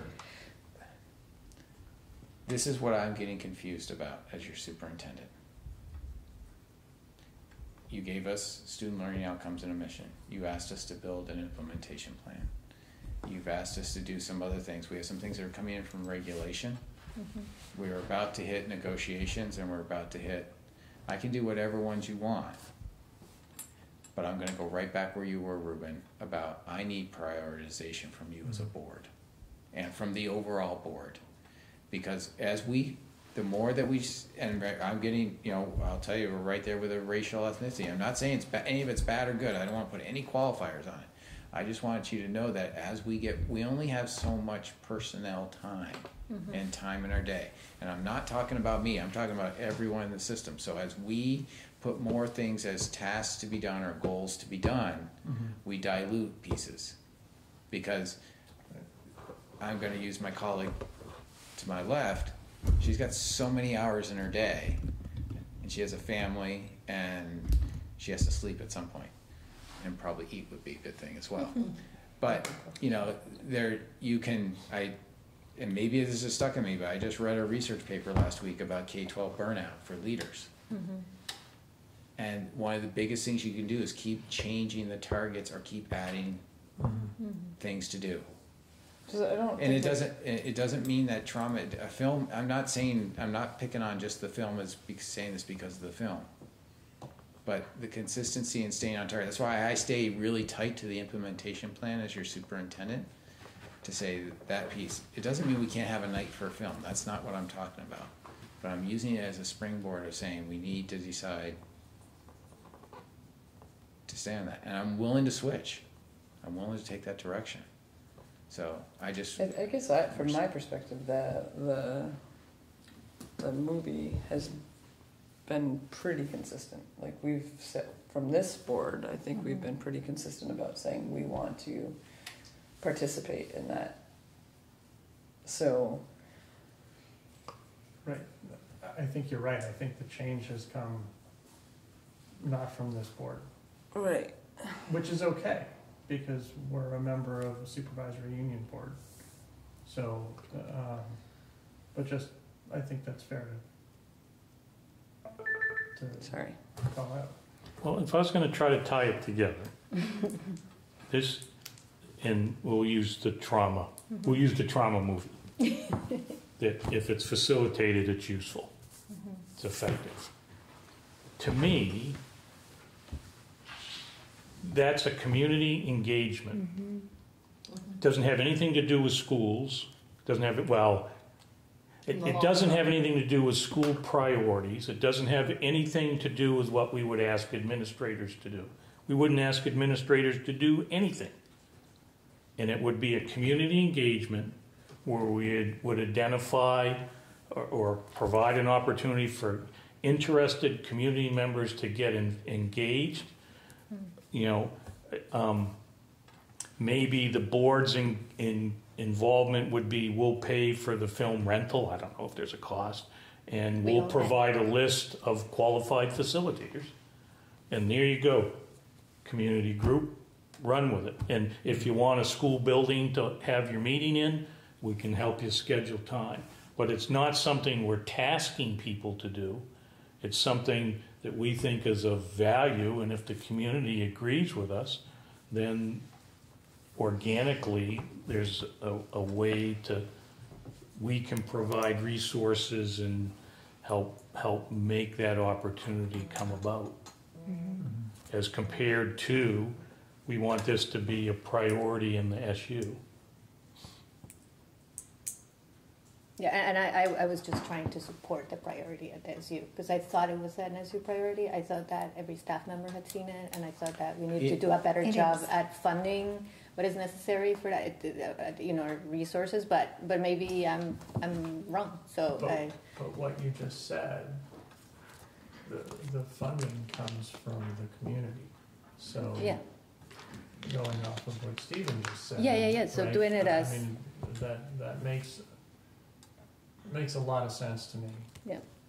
Um, to, to do it in a facilitated way. so I that agree, it's- yeah. So that it has all of that value. And yes, maybe it's not a board meeting, so maybe people aren't compelled to come, but hopefully it will have value.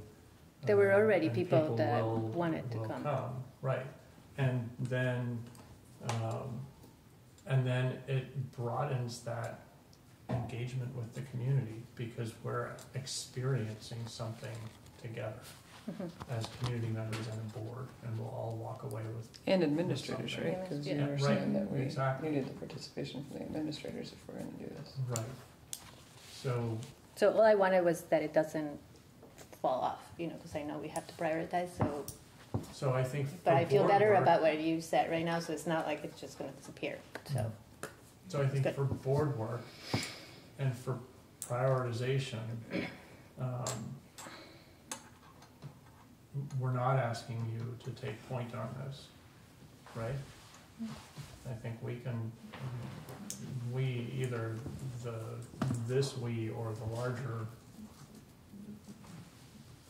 district we, um, can take point on it so that it's not something that you're spending a lot of time on um, so that we can better focus on the community engagement piece in the retreat. And it is, that, that's a change from what we had originally talked about. Sure. Right? Yeah. Um, Sweet. But But it'd be nice to have, for me, I feel like it's actually a positive change.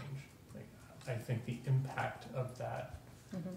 um, experience will be more if it's open to more folks.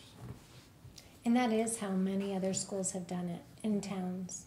It just, I mean, Yeah. we've had this conversation like over and that. over and over again with taxpayers that are like, why, right? I mean, when, when we hired you as a vice principal, what do you mean you need a vice principal? Mm-hmm. And round and round and round we went. So let's show people, Mhm. let's give them an opportunity to learn what it is that's walking in the door that makes the job different today than it was 10, 15, 20, or even two years ago, right? And, and much like opportunistically pivot off into the, into the. community uh, engagement. well, into the school start time. Much like what we're doing in the school start time, part of where, part of how we lead is to learn together. Mhm. Instead of the school board saying, we know these things Yeah. and you should just follow us because we know, um, there's an important, there's, there's a lot of value in learning together. Um, because then you've got, it's, it's an overused word, but it's a more authentic connection that you have with folks. Um, and so then you can have a broader and more open or safe, or however you wanna call it, discussion about whatever it is that we're talking about. So I guess my, my only request would be that maybe, you know, Kelly would be involved at whatever school it would be presented to make sure that we are doing the same around the communities. Not completely the Or same, we- but, Well, We can discuss it yeah, at the executive committee level, but I, I don't agree with Bill all the time, but on this one I will. Um, We, we can't just keep tasking administrators more and more and more things to do. I'm comfortable making this a board initiative. And as we learn how to engage our community better, then it, it can be more organic and more community. And it's, so The reason, uh, an alternative reason I'm harping on the community engagement is we've developed for the superintendent a good evaluation system. We've done two evaluations. Bill's self-report of his evaluation, the administrator's report, and the board report for two evaluations in a row have said the area that needs the most work is community engagement. So we're starting to move in a community engagement direction. And I would hate to see that, you know, it's like Bill said, but now we want to do this and now we want to do this. I mean, all, for me, this community engagement all comes together. We wanted to do this three years ago when Act 46 came in. I mean, I- I've got a huge bias on this community engagement part. Yeah, and I. I- And we do, we do, No, we do a want bad I'm job. not, I'm not saying we don't want to communicate. So- We want But it's a priority. engagement. Yeah. So maybe, maybe an ideal outcome from the retreat around community engagement would be a little direction for the full board for how to execute this presentation Okay. As in a community engagement. That's it. as a community engagement opportunity across the SU. I think it could be presented. Well, you just need to understand, and And I Floor's think- been to the training, it might not have anything to do with us. Yeah. We I- might have just I- one I'm- representative. I'm actually, I'm actually gonna say that what I'm learning in community engagement, the best community engagement, doesn't happen from a board. For- It's for more, public it would, organizations. so, like I said, the board part might be, Yeah. hey, Being there. towns in Washington Central, we have access to this film. Um, uh, many, some community members have seen it, here's people you can talk to, we think it's really valuable. Or, or the people that have already seen it form a group, they come to us, can we get that film? Can we get an audit, can we watch it in the U thirty-two auditorium and invite all the people in Washington Central? Sure, okay. Steve Pate, you know, SDP, I think that's what the kids call it. Yeah, that's what they call it. Um, uh, You know, what days is the auditorium available? Okay, Yeah. can you reserve this day? And yep, we'll get it. And, you know, there should be 15 facilitators and group, here's places you can go to get facilitators. But that's how boards are involved. Mhm. It's just peripherally. Right, I, and I, I guess I wasn't trying to be prescriptive about how the board did that. Okay. Um, Or, or even that I'm not trying to compel the, the board to do that as an outcome, but just So- to keep it sort of, Can, yes. Yeah, can I, can I, can I read this? Just, it's really quick. So the board should structure opportunities to receive input from the community on decisions the board needs to make. However, an effective community engagement system within a district requires the board to establish clear expectations of administrators to focus on engagement and to provide them with the resources to do so.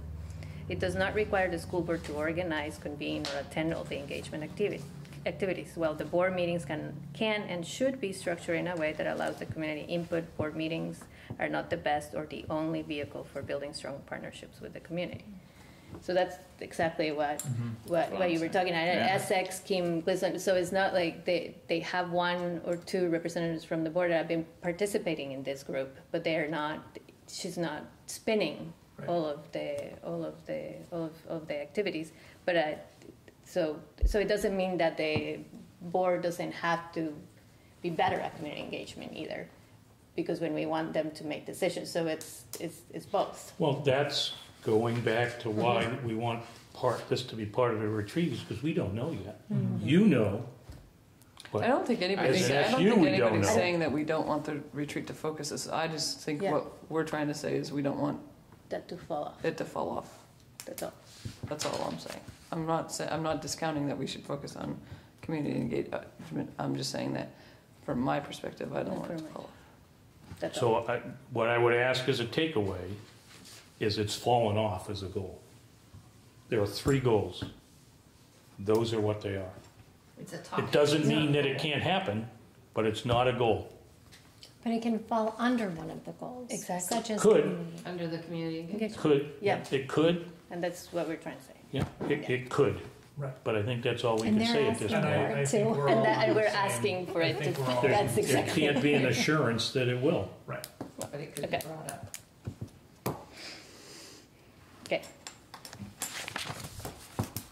Okay. Board calendar. I didn't print mine in color, so it's useless when it's, done. that's okay, I've seen it in No, I, that color. wasn't that color. That was, I thought this was the, uh, the work calendar that we had. Maybe we just wanna table that until after. Let me say this about the board goals, cause Stephen, you, didn't- there were a couple things you didn't say that should have, that kinda goes to the calendar. Okay. The, the hope is after the thirtieth, that on the sixth, uh, and it's my hope along with Matthew's hope, I know I can speak for him tonight, even though he's not here, is that the, um, is that these goals, and you may wanna add one, I'm gonna stress the one, um, to goals, but will be adopted by all boards on June sixth. So that's where we're, we're headed for. That's true. And then the calendar that's in here, um, if it's black and white, it'll be hard for you The to tell. April, May, June?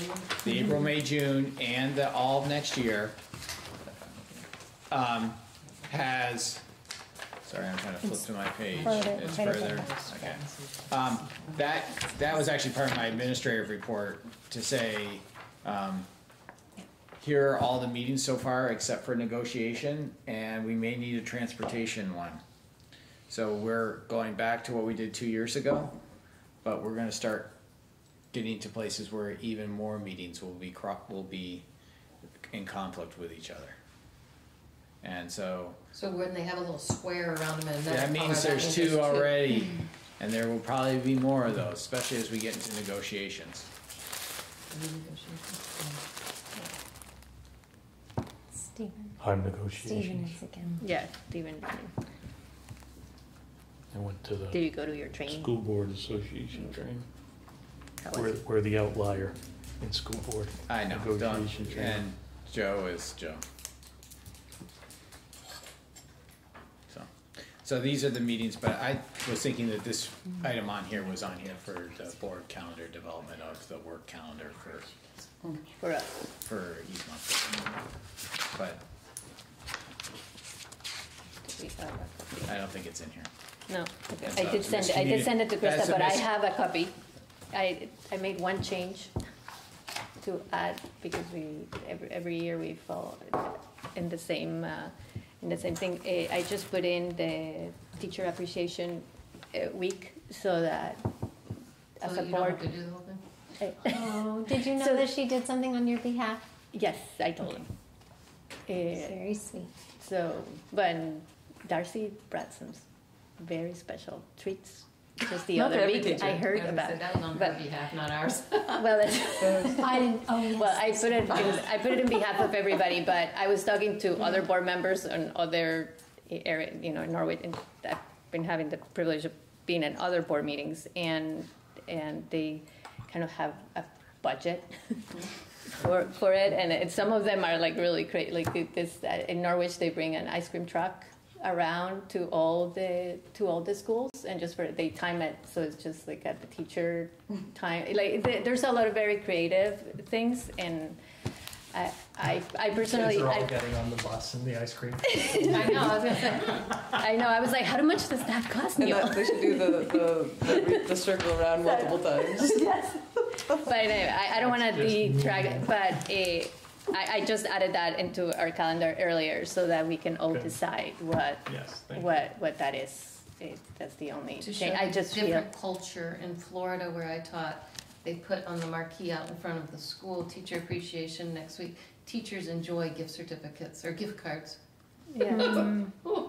And I mean, truly baskets in your classroom of people bringing you gift cards to Chili's and Amazon and. I Yeah, and, and I think awesome. there's uh, there's definitely something that a community engagement group can do, you know, or like, like the PTNL used to do. But there's Yeah. also something even little minimal that we that we as a board can do for for appreciation. So I'm not talking about something grand. I know that we don't have, but but you know we can. We, we've done it every year, but Did you in put it on the different. calendar and So I put it in the we calendar. won't forget about it? And Okay. you just, just forward that, make sure, because that, that's what was supposed to be in here. Do you- Does Yeah. Krista have a copy? She has a copy. I gave it She to her. She does, and I copy Alicia too on that one. And I mm-hmm. did just the the reading one, and then I did one that she could edit it if we needed to. So So like in the school calendar, you're saying you would have teacher appreciation week?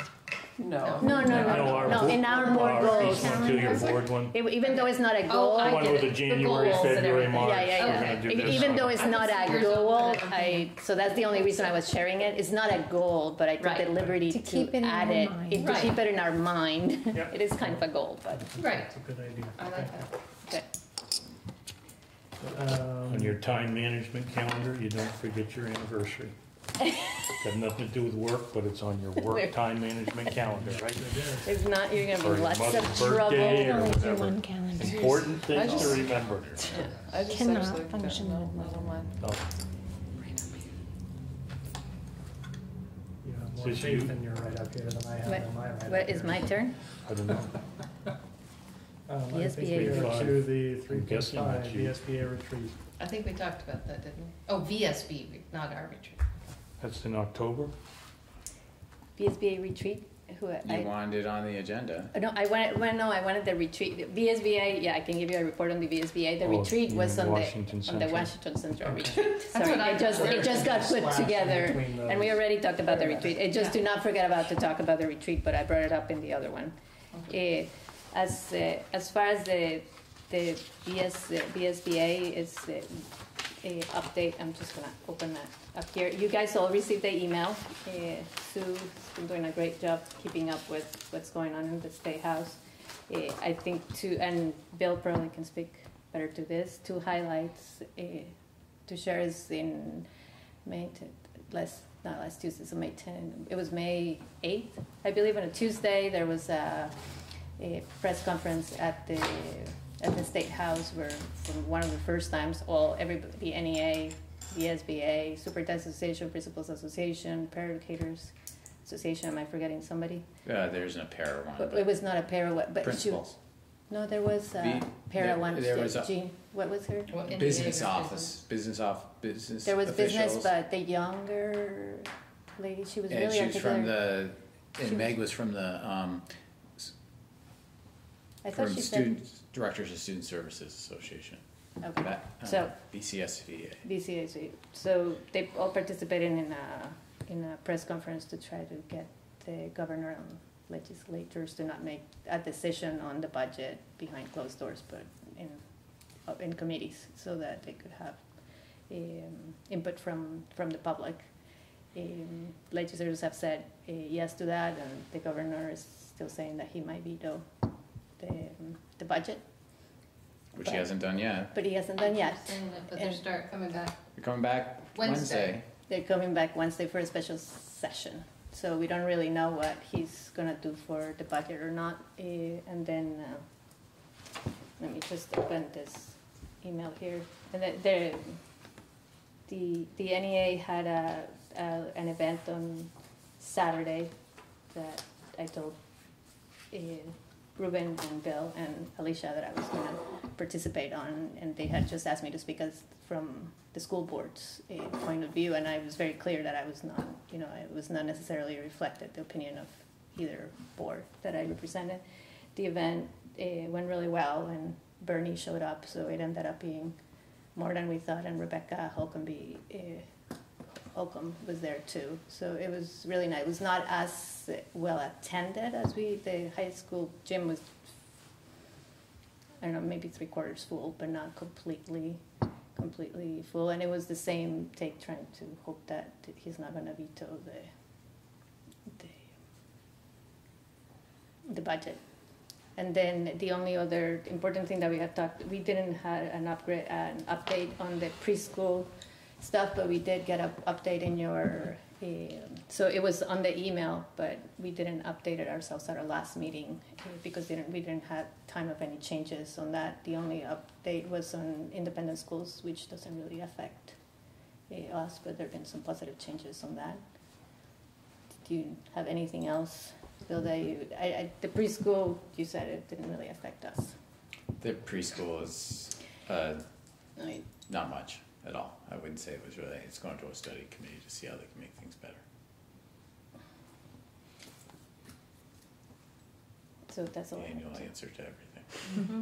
Yeah, so the, the twenty, it's not gonna affect us because we can provide more more time and it's going No, back they to the didn't, they study. did, that, that didn't go through, Yeah. it's the number of hours, the other number of hours hasn't changed. Okay, No, it's really just going to a study from what I read. I read it quickly this af, this afternoon, but. yeah, so like I said, I didn't really read that one, the last one that came in, so. I'm, I'm actually not trying to keep up too much because until we get through the special session, I think everything's on the table right now. Mhm. Yeah, and that's the dangerous part. Everything's on the table. Everything's on the table. Three point six fiscal management questionnaire. So this is an annual questionnaire that you've seen for three years. I have the official one for you, Ruben, to sign. Um, but we just need to have it in the minutes that you had a discussion here at the board and had a chance to ask me any questions. Um, I can tell you this hasn't changed, and it hasn't changed so much as in, it still has our old web address on it that doesn't work anymore, as it was pointed out to me at Doty. So, um, you'll see on the second page, it says available at wcsuonline.org, we gotta, we'll change that. Well, we'll change that, but, um, we, our auditors like to see that it's been, you've had a chance to look it over and discuss it, it's required by state statute. Um, it hasn't popped anything for our auditors in the way in which we answer it, and we haven't had anything back from the state. Check. Alrighty. Reports to the board, administration. You've already heard from me. So we're not Is here today. reason you're gonna sign it, or you still like- or you're not gonna say. Short and sweet. I don't know, Bill, if you want there's a anything. Um, I did not do an April report, but I have a quite extensive May report that's gonna come out from the superintendent that I've actually started writing past day or so. Um, so there wasn't anything great in, anything that extensive in April. And you got the board calendar, that's all I've really been talking about. Fiscal report? Yes, on page twenty-six. Um, There, the only thing that's really, as we've been able to update the interest income for East Montpelier. Um, Yeah, We're closing down. yeah, everything's closing down, we're just about, actually Lori asked me today, we'll probably have an estimated end-of-year report for you on June sixth. So, most of the POs, everything's, in the elementary schools, most of that stuff is cleared, but not completely. I make a nitpick observation. Mhm. Last meeting, we discussed Ann Freezer to come off roof and freezer, Hmm. Okay, Off the note. because on that's not second where it page. was funded from. Mhm. yep.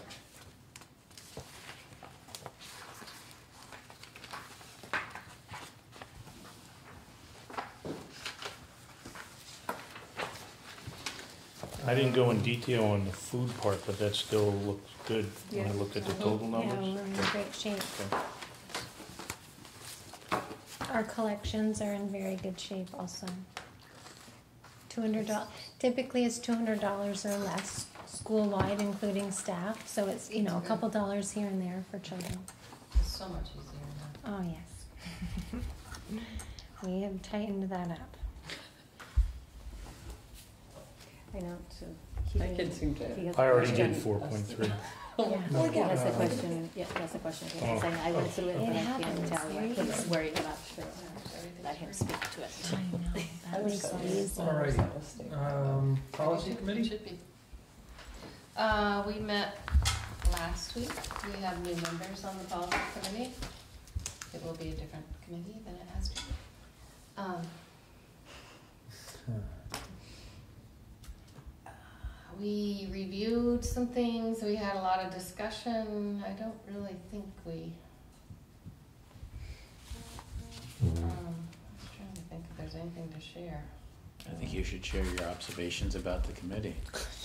And You if you don't, I will. Um, it has been in the past that our committee has felt the SBA board or those, um, model policies make sense for all the schools to reduce the numbers of wordsmithing and different schools having, um, ones that are wordsmithed and the change, I think, is going to cause some change in that respect.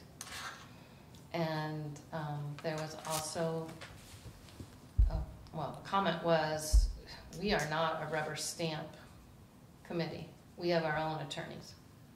So um, I kind of got a little hair on my neck, got up, and I said, I don't think any of us were a rubber stamp committee before.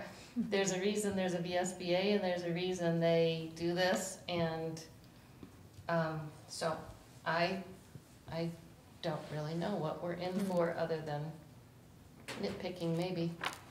Um, Sounds like we're in for what we had five or six years ago, and it'll just become defunct. Um, well, I don't think it's going, what's going to be allowed as far as, So is There's- it the majority or is just one person? no, it's. Three. it's Three, Oh, gee. Uh, six? Is it a shift of three new people? Yeah, it is Out of how many? Out of, out of six, six, but we don't ever have So one maybe- for new thirty-two. it doesn't show. So, so it sounds to So me, so it and sounds to me that what we need is some uh, I thought it was a education. well-oiled machine until last week. Well, maybe some, some training. Um, I think some guidance from the SU board. Um, about what the purposes of the policy committee is needed. we got quite a few passed before, you know, that have gone through, so they don't have to be reviewed again for a while. Uh, uh, my feeling as the representative from this board and just being who I am is having things that are in line. We're all educating the same kids, going into the same world, going, it made sense. And to make it a lot easier for the schools to have their websites up to date. That was another comment that came up was, so what is our notebook? What are our policies? Things are a mess. Well, we're getting them, I thought in not a mess, but that doesn't mean things have been caught up as well. And um, I think we were moving forward and there were some more comments than I've heard before of, well, it used to be, or that kind of, we used to do it this way. So I'm Yeah, so it hoping sounds we, like- it so it was sounds just like- like a first meeting Yeah. and, but So That this might be should come up at the Pollyanna. executive Yeah, committee. I think it should. yeah. I really do. Because I think um, we were making pretty good progress. Things were going through the SU board when we met at U thirty-two for their first reading, second readings, whatever. And um, I think the board itself had been, um, not board, committee, looking at the VSBA language carefully Mhm. and then realizing, okay, they vetted it. Um, so some of the questions that came up about a policy, uh, there were, I don't know who had put the comments, but it went against statute. Uh, That's the Rumney. That's at Principal Rumney Pres- board and then, Rumney Principal Preservation. yes. And the Rumney rep said, I don't even know why this board's looking at it. And we said, well, it's our job as a policy committee to look at all commit policies. Yeah, yeah. Um, so, Reflects a change in boards. Yeah. And their Yeah. reps. Yeah. It'll come to go to the executive committee for discussion and clarification. But it sounds like we have some trust to gain, and the only way to gain that trust is by giving them some understanding on some of how we operate. You know, like because if we just tell them, because I might know who's people are, if it's not gonna. We somehow need to well, I think an To tell them. understanding of of why understanding. Yeah, this is how we do policies it. that are Yeah. the same make sense. yeah, If my child goes to Calais and let's say I'm divorced and my other child goes to Middlesex or something because we live in different communities, it's kind of nice if they're under the same policies. yeah, and that, and keep hammering Yeah, in It that doesn't is mean you all our lose your kids. personality at your school. Yes, and that are- they're all our kids. Keep talking about that. So, I So my voice is going to be what it has been, that the VSBA model ones we look at and we, because there's some that, how many of them are required? Twenty-eight. Twenty-eight are required. How many have we gotten done? Uh, It's just the past two months that we've gotten to all of them, in my six years here, Yeah, Hmm. that We they're were- actually all on the books. you know, we were making really good progress. There are And other ways to do it. So, Is But we wanna Matthew build- gonna- we Will that wanna be on build our agenda trust. to discuss? You Yeah. might wanna send something to Matthew. I think it's worth discussing at the executive committee. Oh, Good times. Because I know my next meeting, I have a policy meeting till five thirty and a meeting in my home school at five thirty, starting at five thirty. And I said, well, in the past, we were always done in time that I'd only be a few minutes late. But that didn't happen last Monday. Well, we'll discuss it at the executive committee and see where it goes. Um, There may be less alignment than recently, so some boards may be going their own route. I was the only one that remained in person You there. can't, Well, you actually, I was can't the only one mandate that it, we'll remained. discuss it at the executive committee level. I just want you to show what you show for yourselves as boards. Mhm. Yeah, and, and we don't have to mandate it, mandate anything, we, you know, we have to gain that trust, so we have to, We And can't, out we together. can't mandate anything. that's what I mean, I'm not saying We we have to mandate it, we have to encourage the understanding and the trust so that we can work together. We- And we can somebody has to on- spill, We can work on building it. Yeah. Okay. Okay, School start time. So we've had two public forums, um, and a couple of meetings. Um, and the survey, everybody should have received the survey link, Mhm. um, which I realized today that I had not posted to Front Porch Forum. Has it been posted to I Front Porch? posted Front Yeah. Porch Forum last week. And it was on WCAX. Okay, Yeah. right, that's right. Um, so uh, that's where that's at. We're gathering input from the, um, from the community survey. There, there's, there have been a couple of pretty vocal folks that showed up that are pretty dead set against any change. Um, yeah, there was that which is letter, actually, Yeah. the optimist in me thinks that's positive, because we're gonna talk about it now. Um, and it's gonna come up at some point, so it might as well be early. Um, so now we're in, I mean, it was like, people are against, uh, something that isn't anything, is sort of, is my take on it, like, any kind of change was gonna be Mhm. fought, no matter what. Um, which I think is unfortunate, but that's my own personal observation. Um, so we're in the data gathering phase where we're finding out from the community, um, if you've done the survey, then you've seen it where it's, you know, what start time works for the younger kids for you? What do you think is ideal? Rank them. What are your priorities for, um, for when, uh, for, you know, short bus routes or saving money or, you know, um, and asking people to prioritize it. I have no idea how many responses we've gotten. Four hundred and six so far. Well, Mm-hmm. That's pretty So good. this Very good. morning. Yeah. I'd say that, so that's a qualifying sample for the Mhm. number, if you use the parent numbers. Yeah. Mhm. Yeah, we're almost twenty-five percent. um, hopefully I'm an N of one, but I got confused on it. Cause I didn't read the School instructions. specific. I didn't read the, I the have the same thing. instructions specific enough.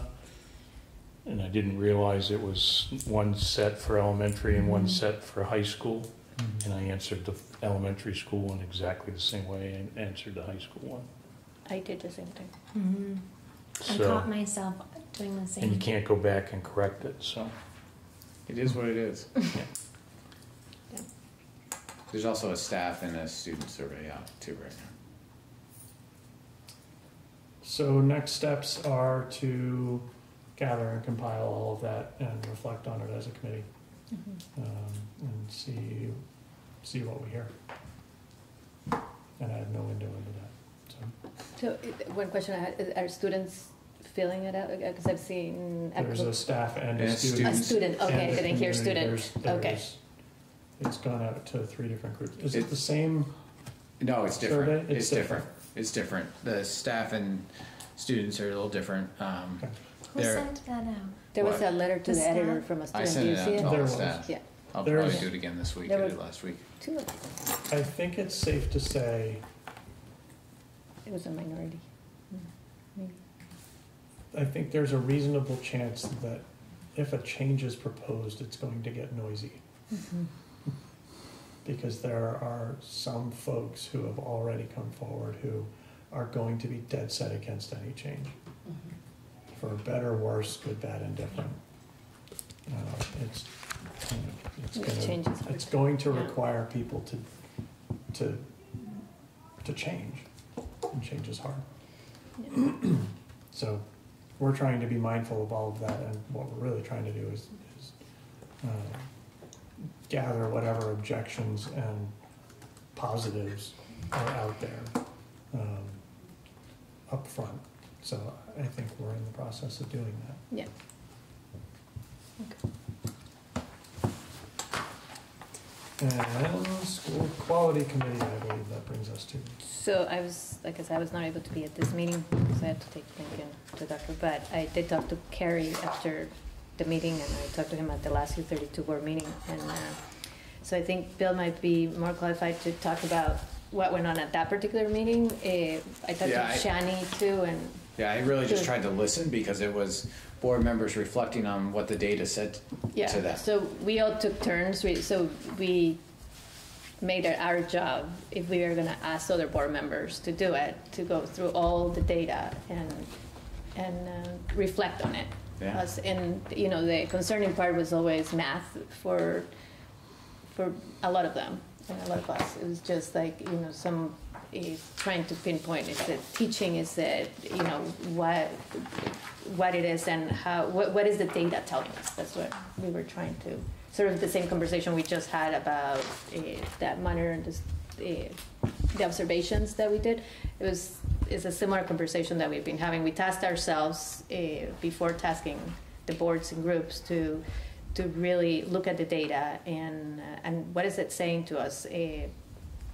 How do we feel now that we have seen the data in uh, and then bill i, I read this uh, minutes and you know bill suggested that we that you know creating a, the culture of learning doing more professional development you know so there were there were things that we can uh, that we can do but we basically did three questions. You know what is the data telling us? What do we want to do with what else do we want what do we want to do? Uh, what else do we want to know and part of it it was for the longest time as a quality committee i feel like we've been struggling with that policy eh, is that it, you know moving into policy. And i think the more that we've been talking about it that there's might be like a mixture of two systems that might, might be better as a committee. But we really um, policy governance is something that we are trying to base this from. That that was most you know so instead of trying to tell people what you can't do you know just give them more freedom of um, uh, no can't do give them more um, It's actually better to tell Gi- them what, they you can do. Sorry, yeah, can't do tell and them what you you can need to do. Yeah, so just tell them what you can do so that they have the creativity to do whatever they need. They need to do, but it's we seem to be shifting, at least in my last conversation from Matt and Shani on what the balance is um, there. But we looked at this with that mindset, Yeah. you know, in both policy governance.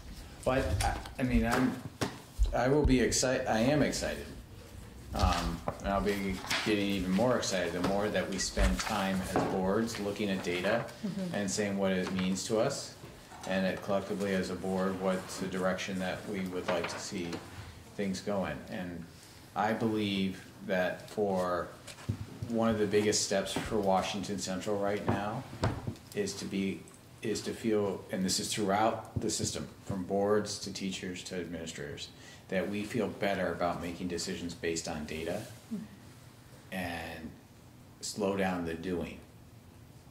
That we're willing to say until we have clear data and that we're gonna accept the data. We, we, we trust our, the folks that have chosen the data, the assessments we use, which has been done collaboratively with teachers and administrators, to say that is our local assessment system. That's the data we have. So what's it telling us, and where do we need to go next? And not try to use an excuse. Well, those assessments don't work, so let's do this other shiny thing over here. Right, exactly. Well, we, we've set on those, and there is no one perfect assessment. Mm-hmm. And the problem with assessments is they can be misused for purposes they weren't intended. We're doing, I think, a really good job in Washington Central of saying, we're using them for the intent they have, and we don't try to overread into them. If we need to know exactly how my daughter Megan's doing, deliberately, we run a diagnostic assessment around here. We don't just do a screening assessment and tell us what that means. But if we're gonna use, talk about, like you saw all these assessments tonight, those are meant to do on a large scale. So a diagnostic assessment is not a good assessment to tell you how East Montpelier Elementary School or Washington Central is doing. Mm-hmm. Different It's the misuse of that assessment. Mm-hmm. So I think we've got that defined and it's taken us a while to get there. But then for the boards, and I asked for this in the school quality, I want the boards to ask us for goals and hold us accountable on the data. We, that's good pressure for Alicia and I to have, to say, so what is, not, not for boards to tell us how to get there, but say, so what do you have for a goal based on that data? And we'll tell you whether we think it's acceptable or not.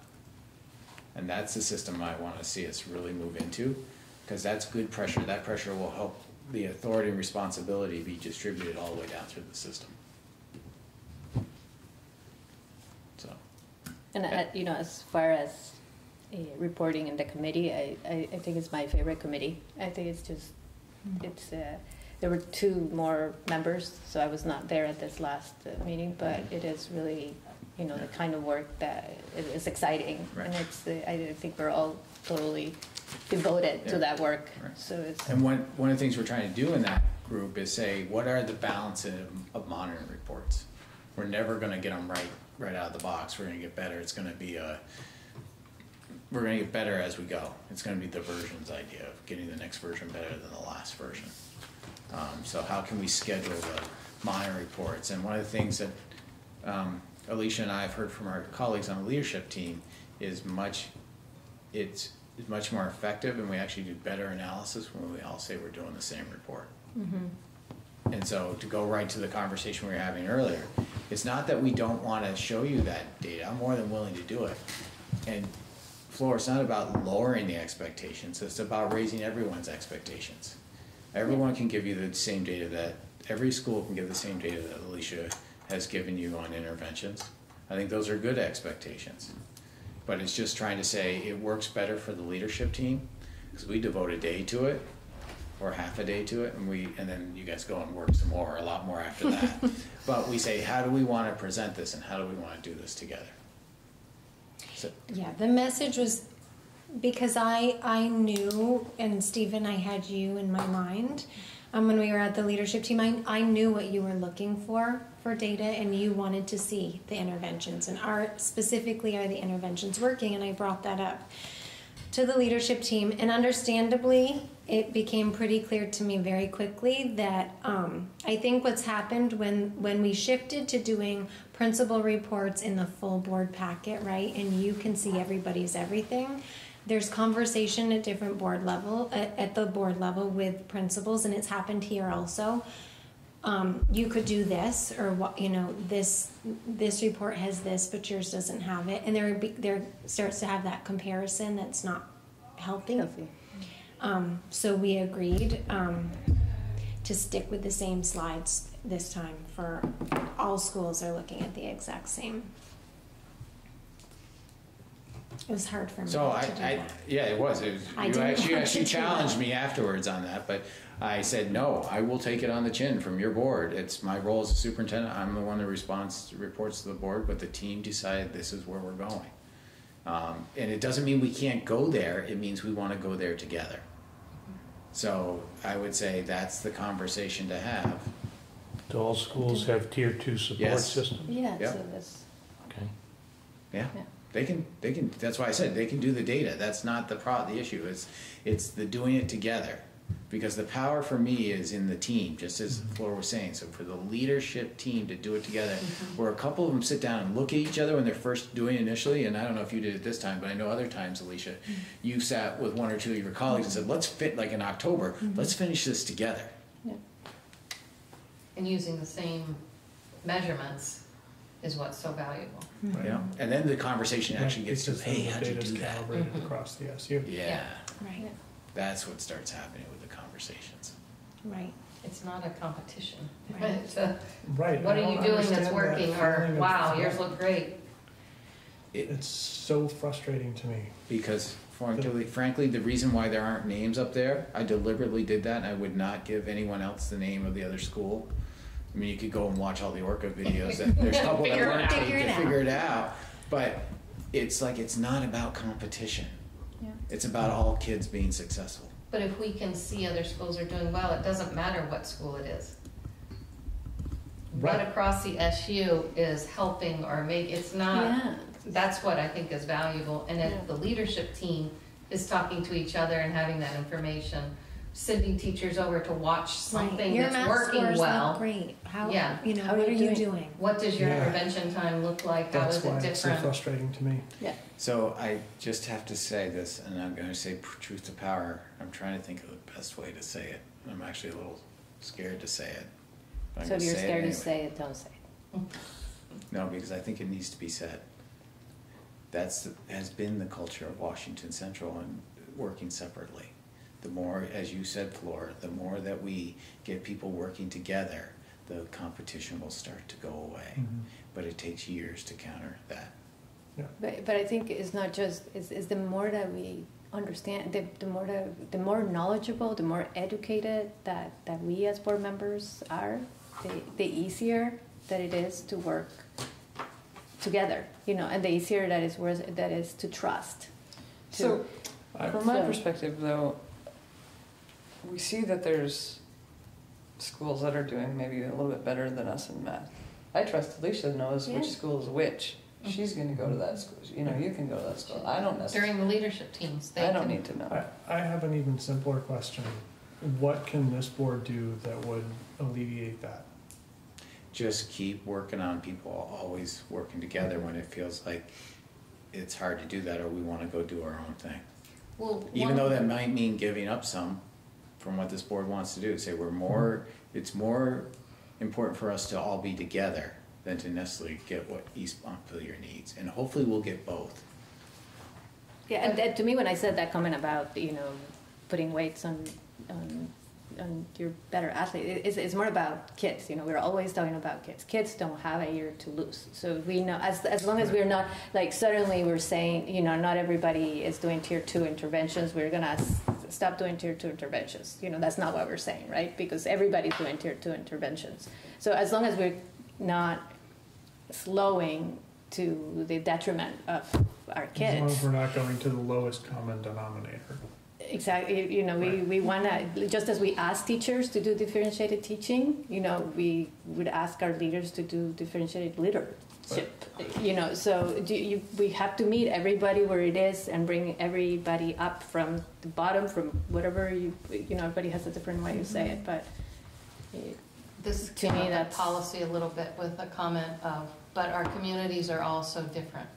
No, they really, they aren't. No, they're- they're it's about the kids. And that's, the And the kids are kids all are not going to U different. thirty-two and they're going back out into the world. And it's not about making, well, it's because your kids get to wear hats and our kids don't get, it's not those little things. Mm-hmm. If we have common curriculum, we have common expectations, and they're high expectations, then the data will show how some of this is or isn't working, and that's for the leaders to talk about and figure out. Right.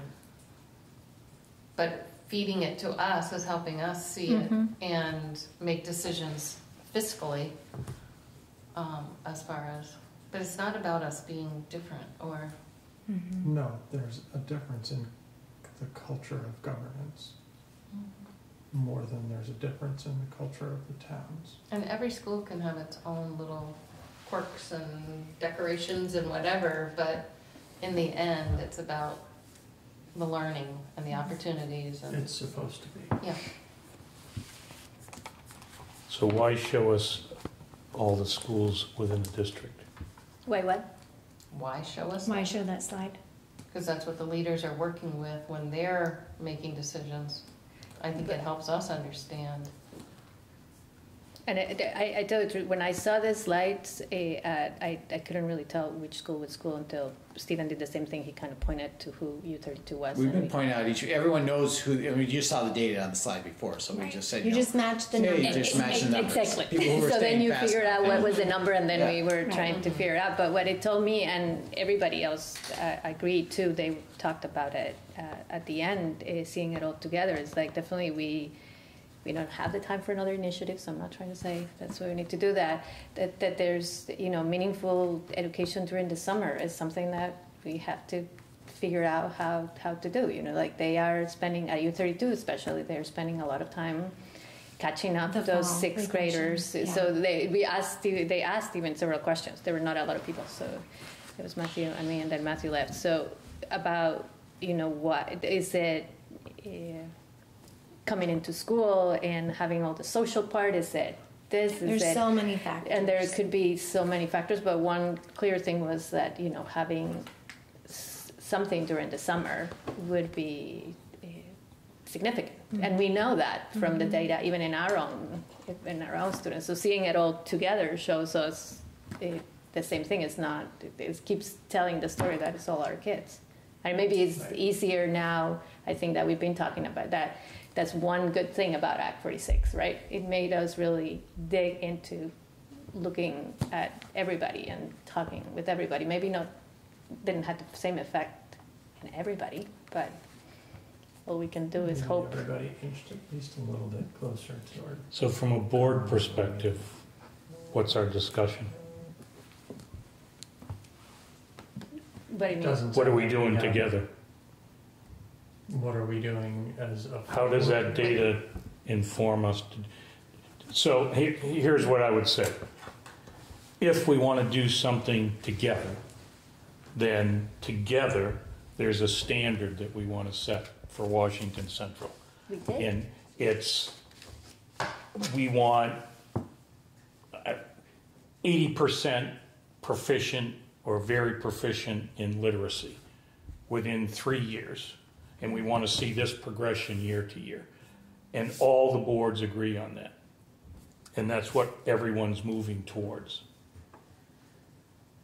But what we saw today, so what? Yeah, and that's, I mean, that's why I said what I said earlier about with the data is I'm looking for direction from the boards about what you want for the data, because I, I, frankly, I need that. And the leadership team needs that from the boards to say, we need to know, because what, I don't know if that's good enough, or, I mean, that's the discussion we were in the fall. But that's And what we that's were the- talking about the, in the quality committee. You know what?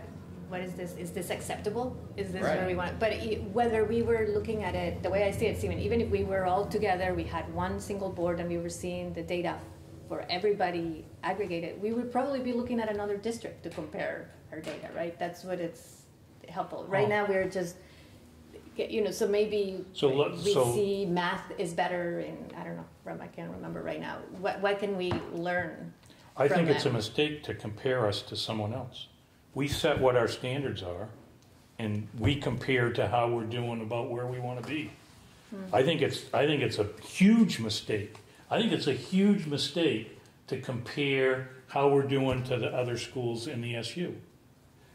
You know, we could be the best school in the SU From a and the sixth worst in the state. Right. What do I care where we are in the SU? I could care Because- less. Because we're feeding I to want- middle school. I think we, i- if it's about the kids, we, and we're talking proficiency, and we're talking the, the local measures we have, it should be, this is where we want our kids. Mm-hmm. I, so we're lower in math than we are in literacy.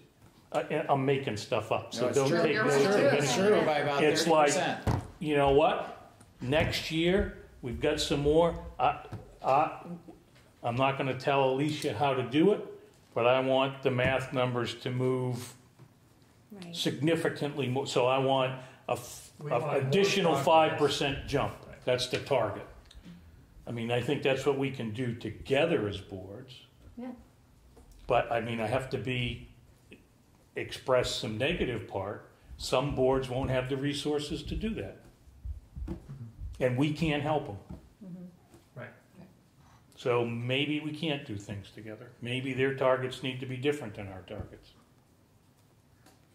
But their, ideally, their priorities would be largely aligned, right? Because Uh, we can, I could be. we can work to move in that direction. I don't disagree.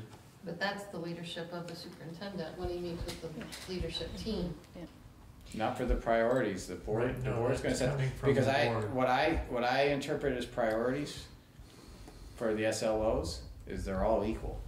And so we equal, try to equally resource them, Mhm. which we don't. Um, and so, I mean, because one of the things that'll come down, and it's a good discussion for the board to have, and it's one frankly the board should be right in the middle of. So approximately about forty percent of the kids are proficient in math, about seventy to seventy-five percent are in reading, SU wide. SU wide. Um, if you take a look at that, okay, so, um, we wanna increase the math, we wanna increase the lit- literacy, okay, so there's not an endless set of resources, whether it be Mhm. time and or money. Right. So So what's the they're gonna comfort take it level away of from the, Something else. well, maybe, or is there a way to combine it, cause I'd, I'd like not to be in the game of zero, I'd like not to be in the zero sum game, game. I'd rather be in the, uh, how can we make this better and lift other things. Uh, But in my, and I've been very public about this, for me, as an educator for my twenty-five years, I believe everything starts from literacy and numeracy. And that kids need to be numerate and literate, and, and that our system's very much set up that way. Um, And I, I need that reflection. And I, I don't wanna go there by myself because I think that that's a dangerous place to go. Mhm. Frankly, I think that's not a healthy system. I don't think you're by yourself when you're with your leadership team, with the principals and the people looking at the data. And But I, figuring out, there's always room for We can- improvement. We can figure out how to get there. It's that, are we will, The what's support. that, what type of, what is the board, I, and Calais, Calais has been hearing me this for two years. What are your priorities? Mhm. You know, because Flora and I have had these discussions, and I, I can Heated see what she, I can read her from here. And I'm, I'm, and, you know, so it's which, you know. Do you how- want to lose art and music? Art- I was gonna no, say, it's- it's you know, there's other ways. Spanish. we love Spanish. But, Yeah. but, you know, and I, like I say, you know, but I mean, numeracy is also music, right? You're learning to, or literacy, you're learning to read music, like, and you know, and I for other kids they work different, so we don't need to get down that road with our. Well, if we can't Discussions get down that road internally with ourselves, Oh no, I, I didn't know. No, no, no. I, road I just like felt like we were. If we can't, I, I'm happy to I talk about it. I we're, email Bill about it. we recognize there's room for growth. Yeah. and I Well, think it would be likely. but how much growth do we want? So when we wrote, when the leadership team first met and started talking about this, we and we talked about. I don't know if you remember, like what percentage? Because the old, um, whatever it was called, strategic plan, Yeah. you know, had percentages mm-hmm. like you were talking about, and we said no, it's all students. It's it's all students will be proficient In all subjects. in all subjects. I mean, mm-hmm. that was the that was our target. Mm-hmm. And we got reflection back from board members that that was too aggressive. hmm We, I just we can't financially, And we're not Right, that's, that's what we got. Can't get Yeah. there. I understand that, but how do you not set that as a goal? I agree. So Well, that's, that's- what that, Well, that was, that was- your that was Darcy. what- But on a more, but on a more directed. so you were a like big that's- supporter of No Child's Left Behind? No, it's No. That goal was child- hundred percent. But no, I no, think no. But, that's but, different. but what does it mean? But What, who's what to does say it it's not mean? in the, who is not in that hundred percent? Yeah. Right. Are we to say this child shouldn't Right. be in I that, think that would all be your goal. students?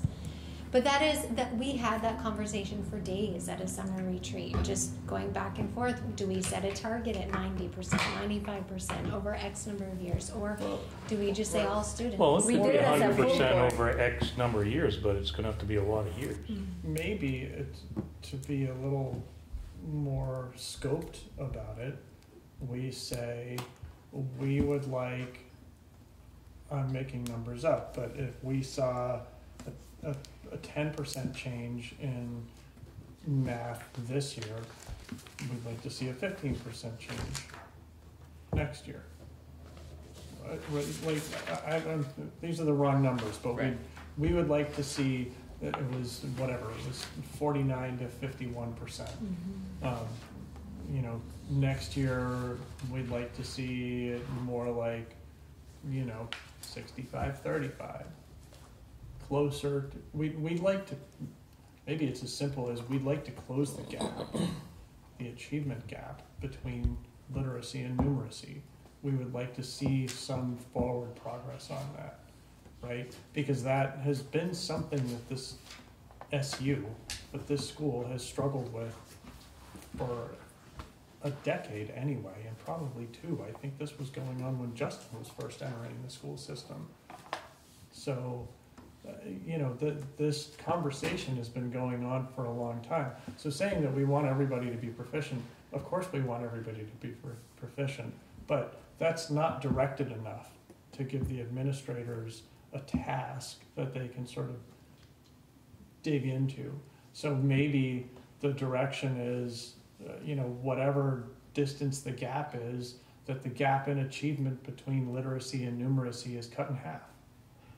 You know, and maybe it's two years. I, I don't know, but just in terms of sort of a little more direction from us in terms of what we're looking for, um, that would that be helpful? Yes.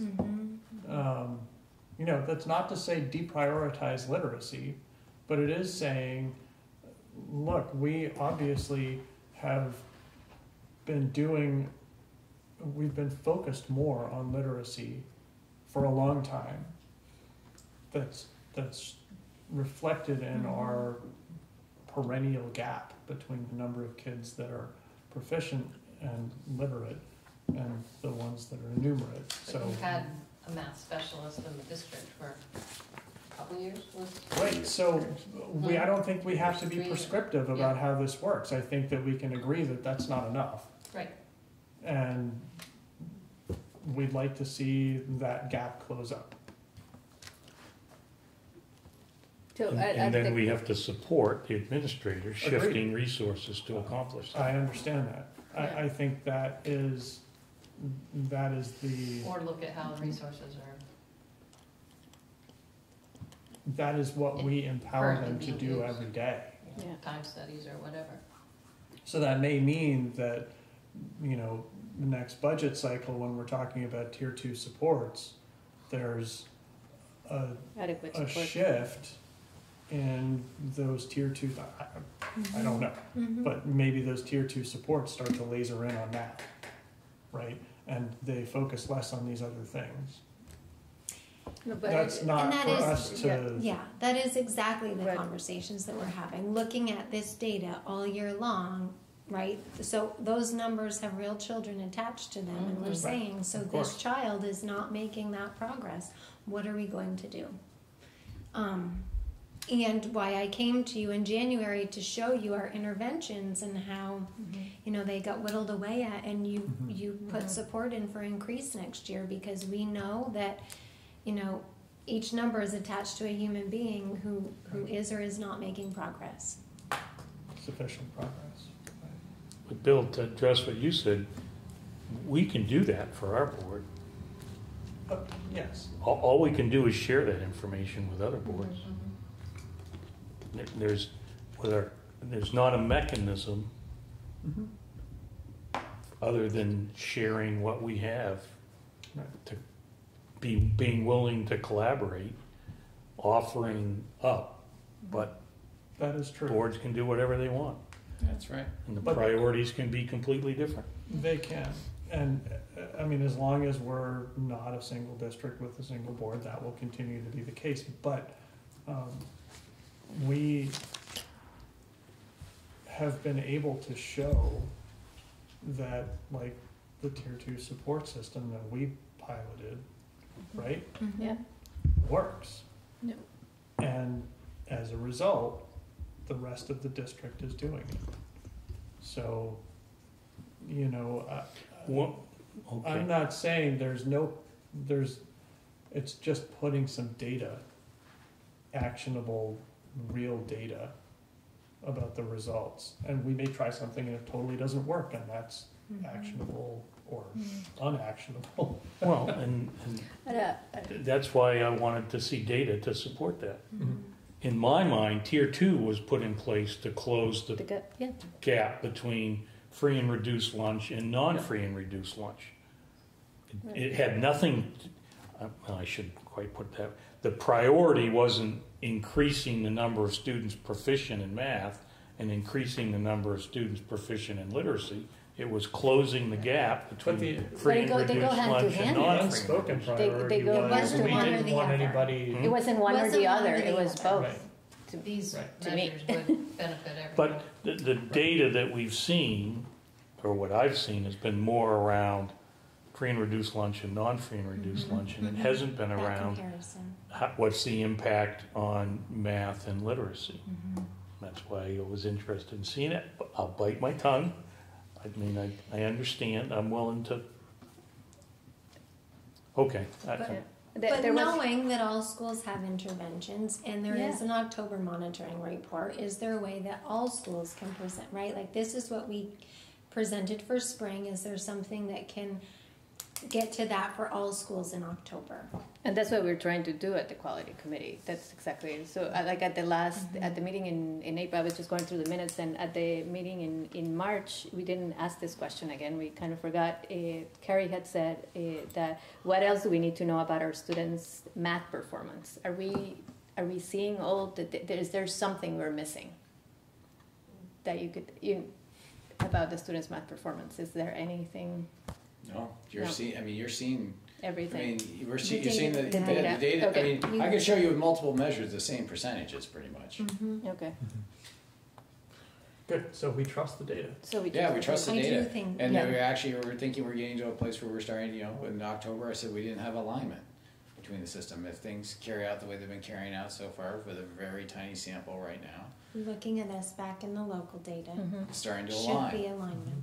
So that's a good thing, then we can start using that local data to really drive changes Mm-hmm. in And practice. when you meet with teachers, I assume you ask questions like, how many minutes a day are we teaching math, or would this? We- I don't different ask them that, We I know we have know to ask that. that, we know that. Yeah, Well, yeah. but would that? That's an expectation. I would think when you're looking at data and you Yeah. see this gap, or you see, So we've, we've pretty standardized across the system for math instruction.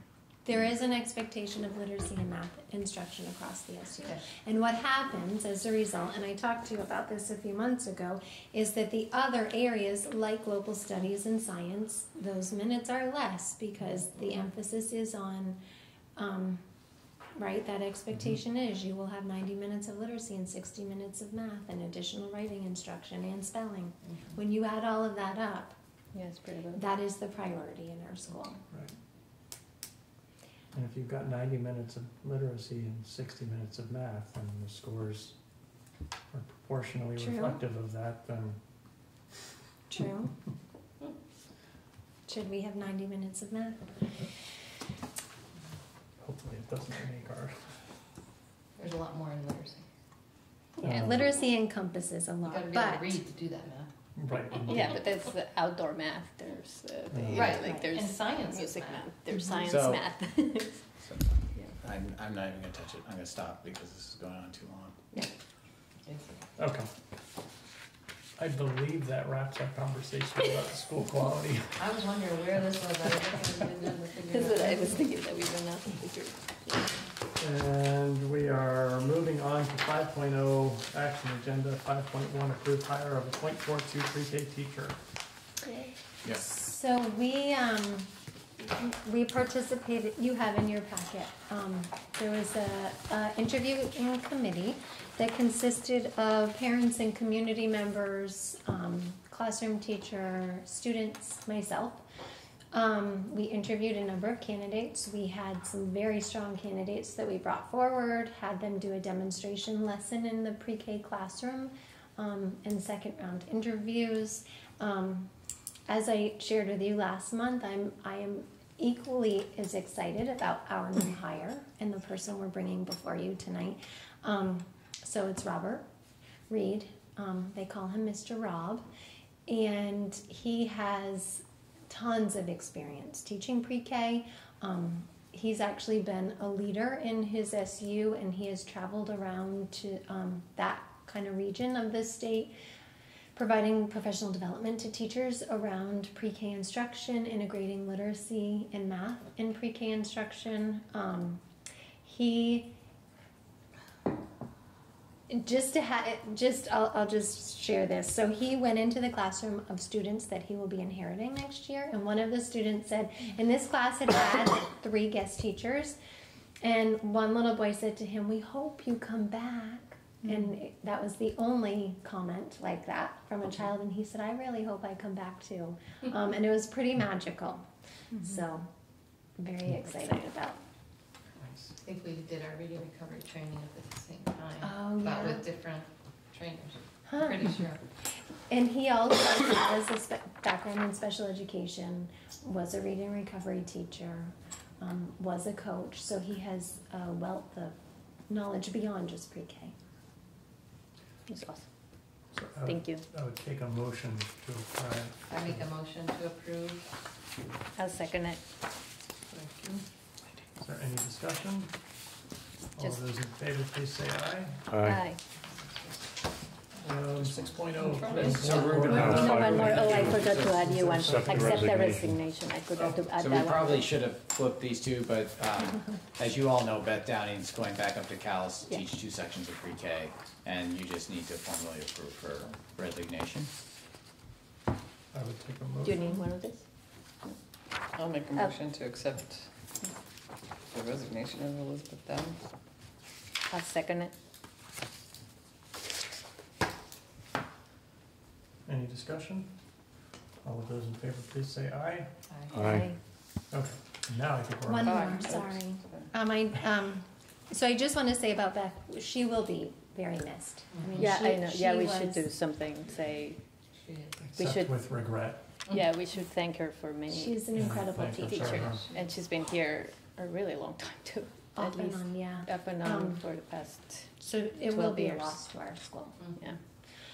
Also, just to let you know, it's not on here, but on Friday afternoon, I received a letter um, that I have for you, but I don't think you need it. Uh, we have a retirement of a paraprofessional. Doris Phillips will be retiring at the end of this school year. Oh, She was here when I I was gonna say she's been 40 years. for a I hundred. asked her, "How long, Dory?" Forty, and it was a hard decision. I bet. Um, and sh- and I I told her just like with Mrs. Farnham, she is welcome to come back and sub and mentor students, and we don't want to see her gone. And she's of course a grandmother of two students here, so she won't be gone for good, but she is ready to not be here every day. Mhm. Okay. Now I think we're on to the board order. Well, we have to think let there was a Mr. question. Well, I- I'll make a motion to approve the board orders in the amount of Lee- eighty thousand, four hundred and one dollars and forty-one cents. I'll second it. Then I had a question. Um, The very first three checks were issued on the same date to three different organizations, and they're identical of five hundred forty-four dollars. Aren't those those And pre-K 80 cents. payments? I Is don't- it split up between I three? can't- Let me see that. If we can see who they're written to, we can tell you. Yeah. Probably I sounds like a were the pre- Is there sounds- probably a pre-K? pre-K Apple banner. I don't know. Yes, they are. Yeah, They're yeah, all a pre-K. pre-K tuition one So it's just an equally divided between Yeah, three we, it's the areas? same, remember, it's the same tuition, and mm-hmm. yeah, we have to Okay. write the checks that way. Good catch, Did you Stephen. send? No, but I will Okay. now. Yeah. It just, it just seemed odd. it's pre-K. I was like, what is he? Because there's Oh. one more down below. Is there any discussion? Further discussion? Seeing none, hearing none, all of those in favor, please say aye. Aye. Aye. Opposed, abstained, thanks. Thank It's you. gonna pass anyway without my signature, there's already four. I, I couldn't find anything because there was one more below. any Future agenda. Oh, well, our, our own retreat, we're, So they're trying to, one of the things that's gonna be discussed on the thirtieth is that will be, that there'll be time in the afternoon, Stephen actually suggested this mhm. at the executive committee, that that could happen after the SU board retreat Okay. On the second. on the second. on the second. So that will be a future agenda. Well, you'll hear Oh. more probably after the The- executive committee meeting Okay. on the thirtieth. Okay. So that's only if we have enough of our representation here. that, that doesn't mean you have to. I think it's one of those things. that I'm you- a maybe. Oh, my kid is. The discussion in executive committee was the day's pretty well shot because you're doing an SU retreat. Why not just, and the board retreats typically are between two and four hours. So if the SU retreat ended at three or four, the board retreats typically go in the early evening. Why not just do it all, bang it all out in one day? And do we know where the board retreat is? Location. No, not yet. Still working on that. It's just a consideration. Do you believe board communication, is there anything? That brings us to adjournment. Uh, eight sixteen. That's a cigarette, that's